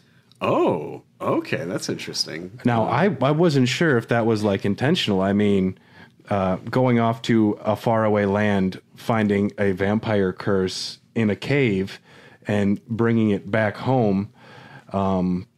I can see that. Yeah, sure. I, I wasn't sure if that was like, and I was thinking like Season of Passage is going to be maybe a little too close to Midnight Mass, being that like going away. But I also just the thought of uh, a big sci-fi horror fantasy film. Well, if it's not getting made, perhaps I can ask you some more questions about what might have been. I don't know. yeah, go for it. Yeah. Okay. Well, Season of Passage, uh, fantastic book. You should read it. Um, I like that the book, for one, it says like it's about uh, a celebrity doctor. I'm like, okay, you're it is, but it's not. There's a lot going on there. It starts off, and the first thing I noticed was it's, it says like this book was written in the 70s. Forgive us for like the idiosyncrasies. And I looked it up, and it was written in the 90s. I'm like, is Christopher Pike having a go at us, or did he write this like outline back then? So I think he wrote it in the 70s and sold it in the 90s. Okay. I think is the, the, the trick there.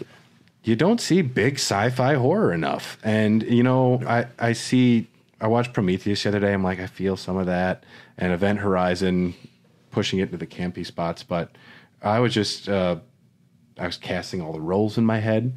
Uh, Jim was Hamish Linklater, and uh, the main uh, actress, not Jennifer. What was it? Lauren. Lauren. I saw as Kate Siegel. Oh, yeah. Yeah, and so it was so visual. It's so great having like actors when you're reading a book or like someone you can kind of see them saying it. But Sure. I did. I was curious on your script, so it would have been a feature film. Yeah, that was the idea. Yeah. When I get to the Sastria, the Sastra and the Assyrians, I'm like, how are they gonna work this in? Well, um, our approach to that was uh, we we pretty much cut any mention of them. Um, Okay. The, the backstory is still essentially the same. You know, the garden and the and the sort of the wasteland, the barren land that you know the the bad guys live and the good guys live in the garden. And we were playing with this idea of you know just like the book is, what happens to a place over time. The idea that you know the cave used to be a garden once, and had been used illy and ended up ill and you know so much of the book is about that in a way and sort of how resources are used and what that does But uh, for for Tyler's context and for those that are listening that haven't read the book, so you're in the middle of this sci-fi horror epic, and it's about like um, a little bit of infidelity. It's about uh, profound horror and going to you know Mars. You're going to Mars, and it's a it's going to the unknown. It's the, the the great unknown. It's going out on a ship and not knowing where you're going. And it's this all this one story, and then there's these astronauts with their eyes out, and what happened to the Russians, and like ah, and then there's this hard cut in the book where it's like fantasy story written by a child, and I, no but it is and in the book it is written by a child which is yeah it's, it's jennifer um, it's Called lauren's subverting sister expectations. oh my god, and like It's a rug pull for sure. I'm like Yeah. Shanine and Cratine, and I'm like okay, Yep. So we, we cut most of the mentions of that. but Okay, I we, wasn't we kept sure. in the story and and you know basically just um, in the Jennifer Lauren conversations, which are a bit um, uh, how to describe that. Um a bit interstellar in nature, if you uh, the Nolan film and how communication worked between people on Earth and people in space. Um, in the logs that Lauren had was Jennifer telling this story in bits and pieces because, of course, uh, you know, spoiler warning: Jennifer is more hooked into that and the reality of it than anybody else is. Um, but um, yeah, without getting too spoilery, we kind of put that into the background of it, and then slowly had it boil up into a reveal. But you did you have any scenes where it would actually show it? No. Okay. Um, not not explicitly. Um, we toyed with certain things. Um, we looked at maybe doing a way to do it through animation, through something that you know maybe Jennifer was drawing, or you know like uh, try to bring it to life in that kind of style. Um, you know, they, they kind of did something similar to that in the remake of the Candyman with the shadow puppets. Hmm. You know, that that tell his backstory, which I found really effective. Yeah. so you know, uh, and or also like on a Kill Bill or like the one of those Harry Potter movies where they tell like the ancient story through like a separate animation, which is a cool way to do that. Yeah. Absolutely. But what we ended up leaning more towards was um, a tone that was sort of like um, how to describe it. Europa Report kind of meets uh, Contact and The Descent. Um, it's like a fusion of those three films that I found to, just to be captivating. Yeah. the, the danger of it, the uh, uh, yeah, there was a lot there that I really loved, and I, I hope that one day, you know, maybe that script does get sold, but um, it, it didn't on this round anyway. So I probably shouldn't talk too much about it if it Sure. does make it out Uh, there. But, but I just I would like to say I recommend the book, and Sure. uh, I, I look forward to the movie. The ending, I was very curious as well, like what you'd go about, but we don't have to spoil that. yeah, I can't talk about the ending uh, on the off chance it ever gets made. Um, Yeah. But I will say that we uh, we took what was there, and just like any other adaptation, we made it our own and tried to make it about something that was deeply meaningful for us. Um, so yeah, you know, hopefully it'll it'll serve and not disappoint if it ever does get made. And I mean, that's a great segue. This book, Season of Passage, was written by Christopher Pike. And Christopher Pike is known for a lot of uh, YA, um, kind of young adult horror. And so I. That was my context going into Season of Passage, and the first scene is like a pretty intense, like rape uh, nightmare. Yeah, and we, we I was like, we did cut all of the rape. uh, Okay. all of it. Uh, we just didn't see it as a narrative boon, you know, or an, an, a necessity to tell that story. Yeah, something that graphic really needs to serve a purpose for the story. Yeah. And not it's hard to do that and not feel gratuitous, I would guess. Yeah, we just it didn't, you know, it didn't sing for us, and it didn't feel necessary, so we cut Yeah. it. And the story still worked without it. Shockingly, right? Um, the sex in that the sex uh, aspects of that book is odd, and it's you know the book is very like referential to Dracula and a few other things, and I see where you're going. I see where you're coming from, Chris, but like a lot of it was kind of out there too, and yeah, Is So it I odd because it's told through like the lens of a YA novel? There's, well, it's not YA, but that, that was Oh. my context Oh, going okay. in. So that first scene, I I was, was going like, to say, how do Yeah. you start a YA book with a rape scene? That's got to be yeah, we a um, tall order. it's a tough one. we just we leaned away from that entirely, and most of the any kind of sexual stuff in them, we just didn't really find a place for it. Yeah. Um, yeah. Okay, well, I'm. I won't try and pry any more information as much as I'd like to. I'll just borrow the book from you. You definitely should. It's a very good book. Um, but Christopher Pike uh, was the kind of a lot of the source material for the most recent series, uh, Midnight Club. Yeah. a fantastic little horror anthology thing. thanks. Unfortunately, only one season. Unfortunately, only one season. Yeah. Yeah. Uh, what was the? I mean, was this something that you and Mike were like, let's do Christopher Pike. Let's kind of lean into that. Uh, it was more Mike, you know. Okay. I, I was not involved with the greenlighting of Midnight Club in any way. That was just something that Mike. He's loved the book for ages. He wanted to make it into a feature a while back, and yeah, you know, uh, then got it pitched as a series, and you know, it, it it was pretty much that. It was what if what if the Midnight Club, but also anthology, and Yeah. that, that got it sold. And then it was the writer's room job to figure out how to make that work um, and what to adapt, where to put it, whose characters, which story, you know, uh, who, Yeah. that all of that was writer's room stuff, and it was probably one of the most difficult rooms I've ever worked in, just because it was. Um, it was so many stories and so many characters, and they were talking about making it ongoing, which I have never really liked that idea. Uh, it just felt like if you're making a story about dying children, a limited series is enough. Um, I feel like Yeah. multiple seasons in Brightcliffe, while we could have had an ending to some of those tales, I'm like, uh, It'd feel forced. yeah, and uh, eventually exploitative if we're just, you know, telling stories of dying children season after season after season, then replacing them with more dying children. This ain't Doctor Who. yeah. Yeah, it's not like they regenerate into, you know, somebody amazing. They, they just, but yeah, you know, uh, What a unique story. Uh, Midnight Club, uh, a hospice for young adults, for teenagers, for young people that haven't had a chance to live their life yet. Just like trying to make me cry, you know. and it's, uh, that's it's interesting, like the impetus for moving into like young adult horror. It's like the audience. It's kind of throwing out a really wide net, though.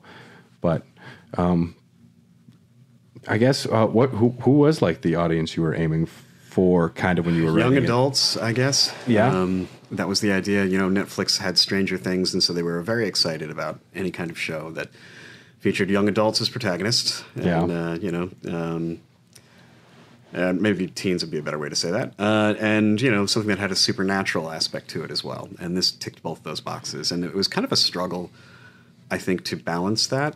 Um, because, you know, originally when we went in to write it, there was no cult.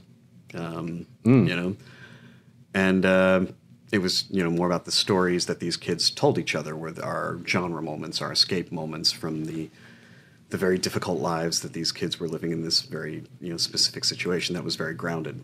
And then you know uh, as you make compromises on a show you you try to give um, the producers what they want um, to an extent to keep everybody happy and yeah, you know, it just kept getting bumped further and further in this direction of what is the supernatural element in our A story.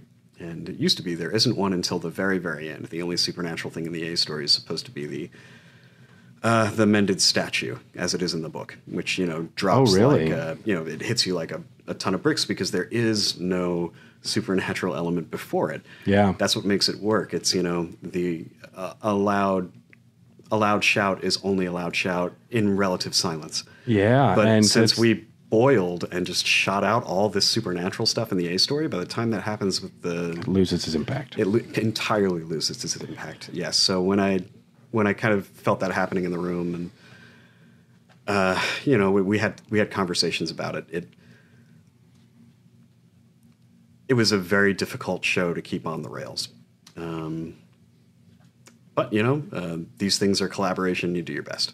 Um, and you were a co co producer for that one. yeah, again, titles are largely meaningless in the new writing epoch. I was in the room helping shape the series as it was being written. And then after the room closed, as with Midnight Mass, uh, a lot of it was rewritten. So after I got sent home, you know, like uh, the cult didn't exist in my in the version that I had worked on with No uh, Paragon. no Paragon. Yeah. Um, there had been a, of course, Midnight Club mentioned in the past. You know, the, another group of people who had essentially tried to find that cure for death, but there there wasn't actually like anybody around looking for ley lines or talking about the supernatural. There was no wig pull, you know, or reveal of Stanton's part of a cult. Like Stanton was just a person. Julia Jane was just a person. They weren't actually. Julia Jane wasn't stalking the place under an assumed name. She was just brought in at the end to prove that magical thinking wasn't real. And yeah, you know, sometimes, like I said, these things get away from you. Um, and you know, different people have different opinions on this, and I imagine maybe, maybe even Mike and I will disagree on this. I don't know. I haven't talked to him too much about this. I'm probably speaking out of turn, but um, yeah, you know, in terms of the direction that that show ultimately went, I feel like we missed it. But that's just me. Sure. Uh, I mean, there there's so many moments that that stand out as big big for me. Uh, wh- when we wound up watching it, my wife and I, it was right after we got married. We went and rented a cabin, intensely storming right by the lake, and we just wound up watching like three midnight clubs in a row with just like this epic storm. And uh, it was, you know, sometimes it hits hits in the right ways. But yeah, I could I see where you're coming from because after coming off the highs of you know Hill House and then Bly Manor and then Midnight Mass, it it just I, I wasn't sure if the I was the audience uh, that was intended because it did it seemed a little more pulpy, a little more yeah, youthy, and if, when you mentioned like Netflix was like kind of wanting you know this a little more of this, I can see that. Yeah, it was a YA show. You know, they wanted YA and you know young audiences, Yeah, and uh, yeah, I know there was one character you particularly clung to and fought for, and that was Anya. yeah. I got in a lot of trouble for that one. You did, yeah. Um, so you know we'd we'd already broken a version of that episode, and it basically had Anya living in a dreamland where every day was perfect, and then eventually uh, she kept getting notifications that other kids in the Midnight Club were dying. Uh, you know that was her fantasy before death, and I don't know. I've had a not the most easy run at life, and I identify with Anya and a lot of. Um, I think a lot of her feeling of ostraci- ostracization, and Yeah. um, and yeah, you know, I um, I was like a person in that position um, who, as a result of that, has so much self doubt. I don't think that they have a. Uh, I don't think they have that in them to have a fantasy land where everything is perfect, even in death, even in a moment where they're asleep. Because when I sleep, I don't see perfection at all. I see a lot of worries made manifest. So I argued pretty passionately for um, a version of uh, Anya's sort of dream world where she was essentially living in a her own judgment of herself made manifest bit by bit and piece by piece and that we could let the midnight club kind of break through that and give her peace before she goes because she can't give it to herself she's incapable and i think that's the beauty of the show that we did make is it's going to sound really lame but the power of friendship um, and what other people bring into our lives which is usually a a better view of ourselves than we might have Yeah. um, and yeah, just that idea of not being alone. I think Anya felt, even in a room full of people, probably alone all the time. Yeah. Yeah, so I, I worked on that one, and um, I I kind of pitched the room that I had a different idea for the first thirty minutes of that episode. And you know, when you're moving along at, at a room's pace, um, that's kind of a dick move um, on my part. Everyone's like, we're doing this, we're moving. And you're like, Exactly. we got to stop. Uh, yeah, it- going no- back. nobody likes to hear somebody say, "I want to change everything we did." Um, and they were all very gracious and very patient through gritted teeth, and maybe a mean email or two. Not mean means the wrong word. Maybe a, a strongly worded email. An honest email. An honest email, I think, would be the better one. Yeah. Basically, like saying, you know, if this is what you want to do, we will, we will back you essentially, but we'll also, you know, letting you know that this is not cool. Um, and then uh, I was given a weekend to mock something up, and so I wrote the first 30 pages of that episode in two days, and they largely didn't change from what I wrote. Um, I am extremely proud of that 30 minutes. Um, yeah, and I, I just think that Ruth Codd is an exceptional actor. Who Oh, yeah. managed to sell that in a way that I could only dream of. Her phone conversation with Rhett is again, you know, it's the opposite. It's the anti Dani Jamie scene. If Dani Jamie is, you know, a moment of comfort between two people that is awkward, you know, the the Rhett and Anya phone scene is a moment of complete apathy between two people who have every reason to be kind to each other after what they've been through Yeah. and that was a really hard scene to write but it's also an easy one to write because it's the fear of reconnecting with someone that you hurt and Just putting yourself out there. yep the nightmare Oh. version of how they might react to you which is apathy and blame Yeah. It's, I would have liked to have seen more Anya. And uh, I've, I've read about where season two could have gone, and it would have been great to see Anya's character living on in Ilonka's uh, stories. yeah And- the remember me track Yeah. yep Yeah. Well, um, I was happy that I could at least read where uh, some of it would have gone. And yeah, that's a lot of beautiful characters, and I really enjoyed the show. i'm glad and i'm glad that mike came out and gave that to everyone just because you know ending a show without closure i feel is especially cruel you know like Yeah, I and mean- networks are doing it you know like they did it to dark or not dark um what was it uh 1899? yeah Yeah. Don't tell me they're in outer space and stop. How, how could we just, yeah. what are you talking about? They're in outer space and you just stop? Yeah. They're Yeah. really shooting themselves in the foot with that too, because I know a lot of people that won't. If I recommend a show to them, they won't even start watching it until it's got a couple seasons, because they're like, "Why would I want to get invested in something that's not renewed? I don't want to. If it's just going to, if it's not going to resolve itself, I'm not going to commit to it." So, Yeah. and that's always a. It's like, but you you got to watch it anyway though, because I'm telling you, it's so good. yeah Yeah. Yeah. Uh, speaking of Ruth Codd, uh, I know she's at least making an appearance in the Fall of the House of Usher, so I will use that as a segue. Oh, I got a fun announcement I could drop on you guys. We won't say no. okay, yeah, yeah. So she's definitely in the fall of the House of Usher. Um, but she is also um, in my episode of Creepshow for season four. She is one of the two leads in it, and the other is Samantha Sloyan. Whoa. And it's basically Nice. basically 30 minutes of real time where the two of them are in a house together. That's, I, I like that. Yeah, that's exciting. Do do we know when this is coming out? Uh, I don't. I keep waiting for them to drop it. I've seen um, a cut of the episode. I loved it. Um, you know, it's it's finalized. It's done.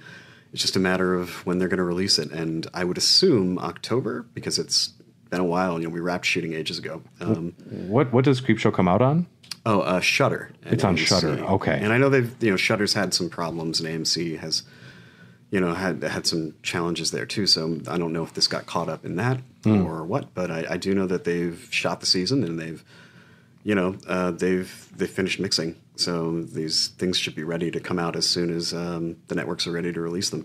Maybe they're waiting for spooky time. Spooky time of year. That would make sense. and It would be neat to have um, Usher and Creepshow land in the same few weeks. That would be very fun. Yeah, be exciting time. Very good time to be Ruth Codd as well, because I feel like Ruth is going to take over the world. She's a wonderful person and a great actor, and she deserves more roles. And more uh, uh, Samantha Sloyan as well. Always a good thing. Always, a good Always a good thing. I remember going back to Hill House. I'm like, oh, she's so nice and sweet. yeah. Yeah, she's You go um, back to Oculus oh. too, and I'm like, she's a good friend. She's a great person. I need to not remember her as Beverly Keane in my head. Yeah, she's in Hush too. You know, she's the neighbor. Oh, yeah, Hush, yeah. Neighbor friend. Oh no way! yeah. yeah, yeah. Yeah, she's great.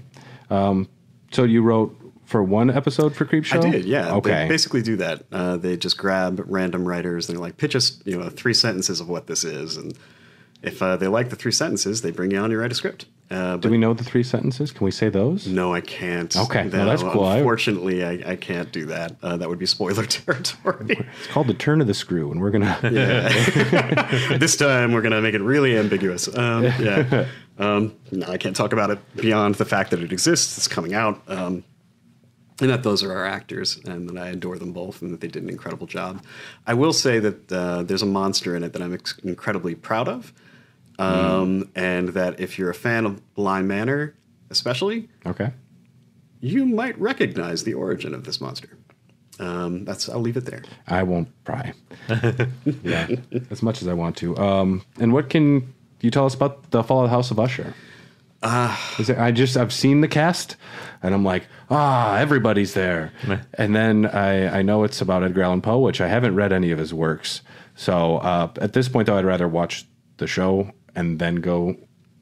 I don't want to be spoil anything, so Yeah, yeah. You know, I'll, I'll just echo things Mike has already said here to stay out of trouble. Though I feel like they'll probably never work with me again after what I said about Midnight Club.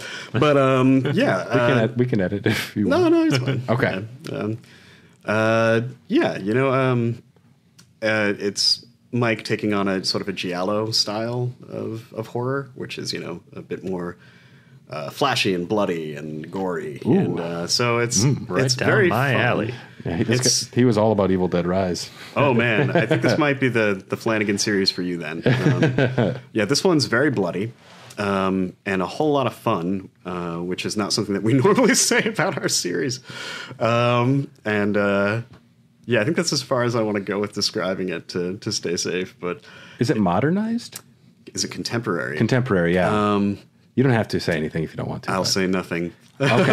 on that one. When did you uh, did you say that one might come out this fall? Uh, September, October. Yeah. Nice. right around the corner. So you don't have to wait long for the answers No. to these questions.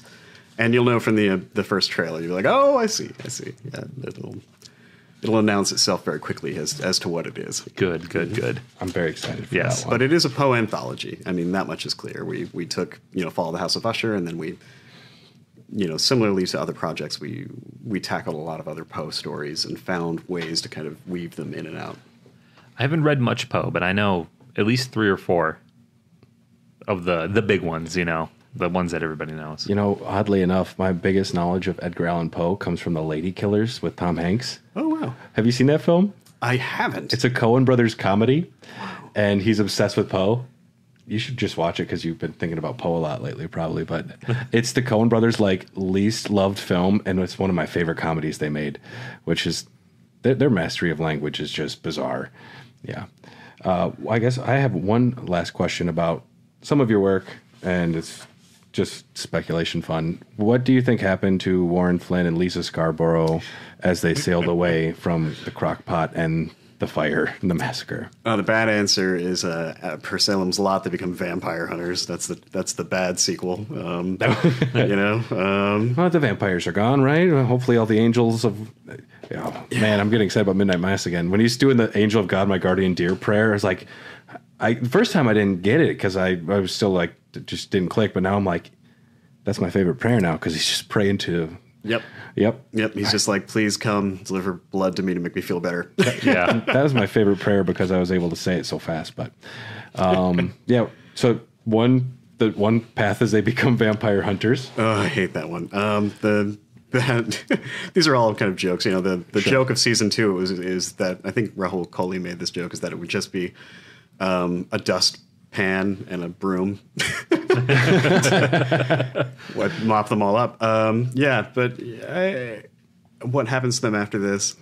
I think you know uh, they're old enough that they could probably probably go out and survive on their own. But yeah, you know, I I imagine that they'd be taken in by the authorities. They'd have to Because they're, they're underage, right? So they'd be separated. They yeah, would, yeah. yeah, uh, and yeah, you know, probably fostered for a minute there, and then uh, you know the whole world would have to kind of reckon with the sort of Croatoan, Jamestown mystery of what happened to a whole island full of people. There'd be horrible documentaries all over everywhere about it. Oh, yeah. Um, and then yeah, you know, if uh, it was another series. Then, of course, the vampire would have somehow made it to the other side, or you know, flown if- across the thing. It's like Yeah. he did make it. yeah, he's just fine. The cutting of the wings didn't do anything. it was just like, yeah, that's that's the bad version of a Yeah. sequel. to This I think any sequel to Midnight Mass is a bad version of Yeah, a if, sequel. if, if you figured it out, yeah. Yeah. People are like, we want Breaking Bad season six. I'm like, why? It's done. It's perfect. Let it rest. yeah, Yeah. like what would the mystery of a new Midnight Mass season be? There'd, there'd be nothing. The, the the metaphor is dead. Yeah, it's- cat's out of the bag now. Yeah, I had a horrible idea for a sequel to Season of Passage while I was reading it, and it would be after the the the stuff gets back to Earth, and then the second movie would be like a traditional like vampire hunter horror movie with our main character uh, being Lauren's boyfriend uh, Terry. And I'm like, sounds horrible, but like the transition from sci-fi to like more traditional, like John Carpenter's vampires. I'm like, I, I couldn't do it, but I'm like, I could see that being like a sequel. Like, make it into two because that ending, I'm like, I don't know. That's a tricky one to stick. Yeah. No comment. Um, yeah. Uh, did you have any other questions about the work or anything? Um, yeah, actually. Um, so I saw that you had writing credits on episode five. Oh, Mass. Yes, of Mass. And that particularly is probably my favorite episode of it because of the end of that episode with Riley. Yeah. Um, How how did uh did you know that was going to be the end of his character kind of going into it or did you find that along the way cuz it seems almost too perfect. Yeah, that was something that Mike came to um, and figured out. I think while the writers' room was still going, was that it was ultimately not going to come down to a showdown between two men, but two women. Uh, but that hadn't been the original plan. Riley was supposed to be the protagonist and was supposed to make their way through the story. Mike and I had done an adaptation of uh, Venice Underground that pulled a very similar trick of switching protagonists. And it's a risky move. Uh, people do not like it when you tell them you're going to switch antagonists, Yeah. uh, especially um, people on the executive side.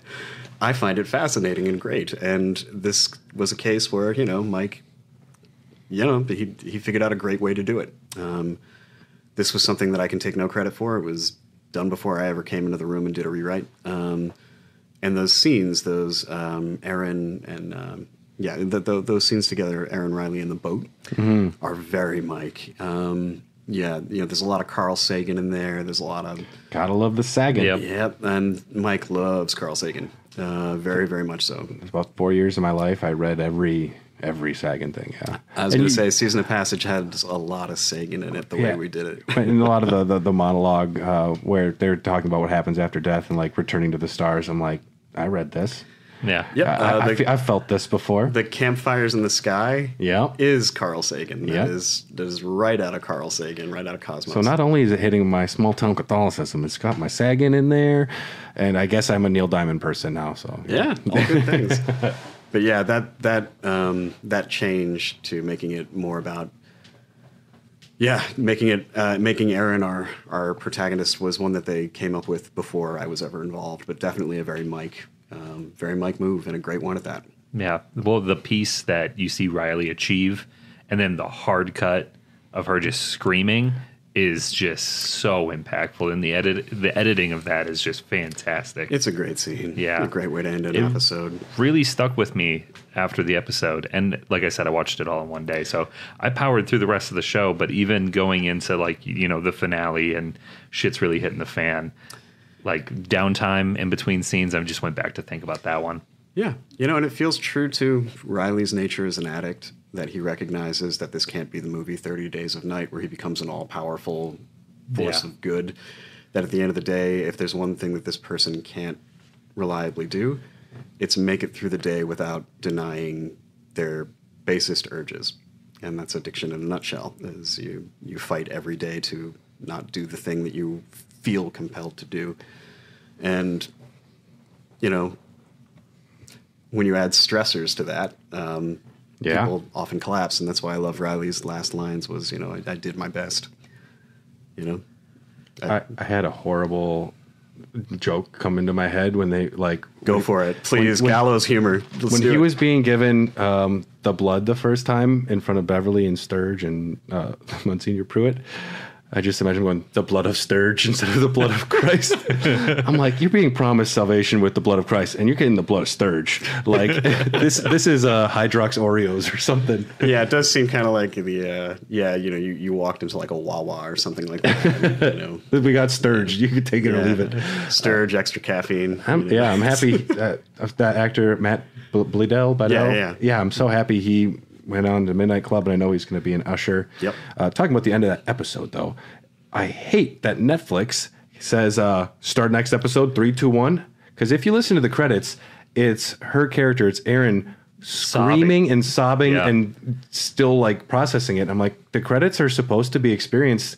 If the music is hanging, um, not only do we need to see the creators, we also like that's part of the experience and the art. And to have Netflix just always rush through credits, and I usually try and panic and stop it, and then I skip it and or something. And I'll, oh my remote it's just twice up on the little pad and then it's I can listen to the credits because that one you need to unwind from. I was like, I need to go grab a beer, make some popcorn. I gotta let that sit for a minute. it's like at the um, what was not X the may, may, the prequel to X that they just made. Oh yeah, Pearl. Pearl. Yeah. The credits scene where like the credits She's is just her like yeah. trying to fake a smile and convince herself she's happy. I'm Just like, holding it. Yeah. you need it. You need those credits. I Yeah. like my credits, and It's- not for those silly, stupid Marvel things. Uh, there's like there's experiences uh, part of it. Yeah. I agree, and um, I I do know that for a minute, a hot minute, they managed to uh, they managed to make it so that it didn't just move on to the next thing. Um, they they Netflix finally was like let it let it play out.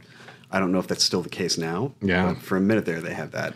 Well, I know with Max or what with HBO was doing, they were even taking off individual credits on the shows and just saying Yeah, like saying creator. creators. And I was, I was like, why would you upset everybody? Yeah, it's What- really- who are you were doing this for? I guess I'm a creator now. Um, yeah, you know, created by is a very specific credit, you know, Yeah. with a very specific uh, set of criteria.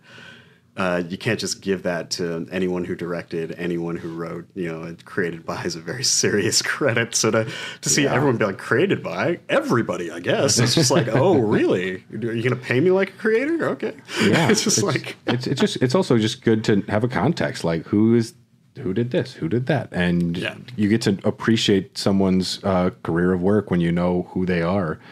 yeah. Yeah, it, it's a very you know all of our jobs are so specific. It's important that they be credited accurately. You know, for, in terms of just delineating, writing, producing, uh, directing, all that kind of stuff. You, you got to know kind of who did what um, for sure. It's helpful. I got one more. Yeah, go for it. Um, just for the road, uh, could you throw out a couple recommendations for my selfish use or for our listeners some uh, horror movies? And I guess they don't have to be horror movies, but some good flicks that Movies, you've seen. shows, and books, please. There you if go. you have Oh, I any. got you. Yeah. Um, in terms of uh, movies, A Tale of Two Sisters. You- I've heard you mention this one before. Yeah, go find it. It it remains gorgeous. It's got the cinematography of The Shining, but with this beautiful like fairy, not a folk tale story almost like like um, but Yeah. not the remake. No, God, not the uninvited. Don't don't do it. If the version of this you're watching begins with a beach house blowing up, run. Hit hit stop. Get out of there. But this is like a weird opening to a movie, a beach house blowing up. Okay, Like I can hear the studio note being like, "This is a very quiet story about two sisters in a house together with an evil stepmother." what if like, it, yeah, what if it blew up in the first yeah. shot? What, what if the first shot is just an explosion? It really got everybody's attention. You're like, it completely undermines everything. cut to a doing. motorcycle and a shotgun? exactly. A tale of two sisters. Exactly. uh, so, Tale of Two Sisters, um, The Artifice Girl, uh, was a recommendation from my brother that absolutely got me. Another feature, again recommended by Mike, that completely got me is You Won't Be Alone. You Won't Be Alone is uh, tackles horror and gender in a way that uh, very few films ever have, and is one of my all-time favorite films, top five easily now. And uh, Oh, wow. yeah, it's it's great. I, I remember you mentioning a film on Twitter the other day that I've seen. I forget the name of it, where the girl's trying to commune with the dead, and she has a priest, and they lock uh, not a, a a man, and they lock themselves in a, A dark house. song. A dark song. That one I remember loving. That's great too. Yeah, Yeah. that's uh, uh, oh Liam Gavin. Yeah, Um, it's such a, a quiet, small film Yep. until the end, and it sticks a very difficult landing. I think, Yeah, and the way they do this, the subtle special effects and like the subtle cinematography, uh, and the giant like. Yep, I know exactly what you're referring to, and everyone should go run to see that movie. Uh, you, can, you can stream it pretty much anywhere, I think. But yeah, Dark Song is so good. Uh, moving on to to uh, shows, Marianne um, as uh, one season and done French horror uh, is great. You can find that on Netflix. Uh, the Terror season one, especially Oh, on AMC. so good. I haven't seen it. That's fantastic. all, m- probably my all-time favorite one season of a show. Um, season one of that show, it's an anthology. So season two is completely unrelated, but the Okay. first season is an adaptation of a Dan Simmons novel, and uh, it's kind- so well done. Yeah, the atmospheric exploration, Lovecraftian horror is just the perfect stew for that. I need more cosmic horror in my life. Yeah, oh my god. Now's a good time to go back and revisit Rome uh, for Ray Stevenson, um, who passed away. Uh, who played Titus Pullo and was so wonderful in that show.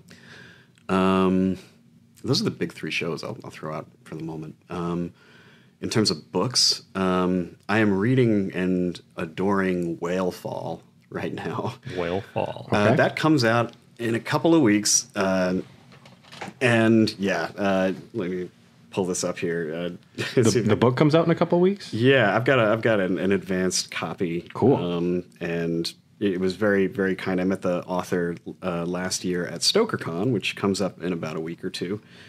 And yeah, you know, it's um it's Daniel Kraus, um, who's worked on things like uh, Shape of Water and uh, and Want to hear my bad name for Shape of Water? yeah, please. Grinding Nemo. I like it. Sorry. Um, no, it's good. Uh, but the basic premise of this is uh, there's a diver and they get swallowed by a whale. And Love, yeah, I love me some Pinocchio. Uh, so if you've ever wanted to, you know, read a survival horror slash deeply personal father son relationship story, Hmm. uh, Whale Fall is the way to go. It is so far one of the best books I've I've read all year. Um, it's real good. Excited for Um, that. Yeah, gonna be real neat. Other books that I really really like. I'm going to throw this out there just because I really like the book, but I hate myself for doing it because I know it'll probably never be finished. But uh, The Name of the Wind, fantasy, you know, um, Patrick Rothfuss. Uh, there are two books written out of the trilogy. The third one, The Doors of Stone. All of uh, all of our fantasy nerd culture has been waiting for now for far too long, and it's it's going like the the Winds of Winter route, where it's just never going to be released. Uh, Those words are not allowed to be said around me. Winds of Winter. I, I don't want to throw this table. Brad gets very I can't lift this table up, so I will be really frustrated. Then you Listen, throw your back. I remember reading. pissed. I remember reading speculation about it coming out ten years ago on Reddit. I'm like, I'm sure tomorrow's the day. Yep, same with Doors of Stone. You know, for years now they've been like, anytime now. And it's just nope. No. Then you you know you also, mad props to authors for doing what they want. I'm Yeah. George R. R. Martin. You can do what you want. Yeah. and it's just really hard for me at the same time. Please. yeah. I'm not I'm not going to disparage anybody. You know, especially the author because I love the work that they put out there, and I am not entitled to their work. And Yeah. Stephen King took a long time off on Dark Tower to come back to it and then knock it out of the park. So you know, take the time you need to write the thing and write it well. Um, but man, would I love to read that third book. Um, and I, yeah, those are the two books I'll stick with for the moment. Yeah. I would have a recommendation or something. I'm curious if you've seen Adamentari. Adamentari. No, I have not. It's a, I think it's a German film. It's a foreign film about a blacksmith who catches a demon. Oh, and it's fucking like old school and I wouldn't spoil anything else, but I it's just so stylish and it just feels like such an old fairy tale and it is just beautiful and heavy metal and he won't let the demon go. I'll just say that. Uh, very good. And yeah, E- Adamentari is what it's called. And have you ever read Fevre Dream? no. It's uh it's a gothic horror novel by George R. R. Martin about uh, riverboats and vampires. And the protagonist is like a 50 year old dude, and I'm like, good for you, man. Heck Ye- yeah. Yep. It's it's not a 20 year old uh, handsome person. And it's like it's like this retired guy is like, I don't want to sail anymore. They're like, we have one more job for you. I guess so. It's kind of that like, Yeah. they pull me back in The reluctant hero. but I, I love uh, gothic novels and I love that that setting and that tone and I love vampires and I don't know what it is about me loving riverboats because I've never been on one but they just seem so cool yeah uh, so that one's good too but is Amazing. there, is there any genres you'd want to write for you haven't had a chance a specific Oh genre man. Um, yeah, you know, I had I've been writing for this show, pardon me, called Hysteria, yeah. Uh, which is kind of a um, satanic panic YA 80s thriller um, that's being filmed was being filmed in Atlanta. I think uh, the uh, WGA picketers just got them yesterday, so I think production just stopped. okay. But um, a lot of that, a lot of that one's you know interspersed with comedy, and uh, I have a lot of fun writing comedy. It turns out I had no idea because you don't get to write a lot of that in the Flaniverse. Not that any of us like the term the Flaniverse. Please don't use it. I, I tried I tried not to I'm, you did Yeah. shame on you I know it's horrible. Um, but yeah, um, yeah, I really enjoy writing comedy. It's it's kind of fun, um, and I would love to work more in that genre. And then just in general, um, character dramas, something like Better Call Saul would definitely be my speed because it's about people who are you know basically their own worst enemies. And- broken and trying Yep, that's that's most of the people I know and most of the people I've been. Yeah. Um, so I, I guess I just say thanks one more time for your your work. Uh, horror is a a genre that I was feeling uninspired by for a long time, and uh, the films, uh, the shows that you've worked on. Are cathartic horror, which is a unique vehicle for catharsis horror because a lot of it can just not be about that, but to experience something with a character. And it's like uh, they say in you know Bly Manor, it's a love story, and just because uh, a lady got locked in a in a thing for a while with some clothes, like uh, it's actually a, it's meant to deliver you somewhere at the end, and uh, I, I just love horror that makes you feel good things at the end, which is a tricky. Plane, Hard to do. pl- a tricky plane to land, and uh, successfully you've done it so much. So thank you for all of your work. Hey, well, on behalf of Mike and uh, me and the legion of writers who have written on all these shows, I just want to say thank you for watching, and it means the world. Oh, absolutely. Keep pumping them out. I'm going to keep watching. Deal. yeah. and thanks for joining us. If uh, we've literally just talked about all of the stuff you've been on, but if people wanted to, I mean, you you have a Twitter. If people wanted to like follow you. Oh like, man, I mean, yeah, you can follow me on Twitter, but I mostly just post stuff about you know trans rights, and I, I rail at conservatives. I don't know that you want to follow me there, but if you do, uh, yeah, you can find me at Twitter on J Flanagan or at J Flanagan eight one. If you haven't seen any of these things or experienced any of the Flaniverse, you open the door. I'm kicking it in, buddy. Oh, it's horrible! It's so horrible. Um, but no, check out these shows. Uh, check out uh, Hysteria when it comes out. Check out Creepshow.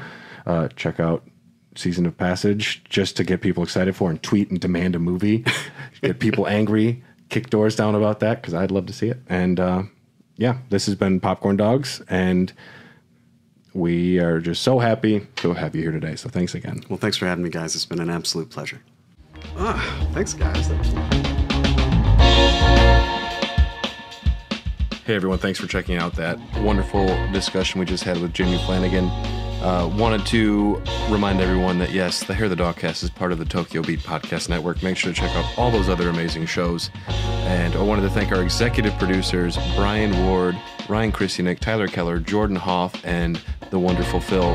Um, Philip, we we appreciate all of you so much. You make this show possible. If you want access to this and other shows, make sure to check out patreon.com slash hair of the dogcast. You'll get access to such exclusive episodes as the lore of McDonald Land, uh, Dogs way in advance, as well as a lot of popcorn dogs, including our episode we just recorded about Midnight Mass. So if you want to know more about our feelings about Midnight Mass, Tyler and I have a nice long discussion about it. We'd love so much to have you join us. There is a free trial option if you're curious, just want to check it out. But yes, thanks again for listening to the episode, and we will uh, see you next time.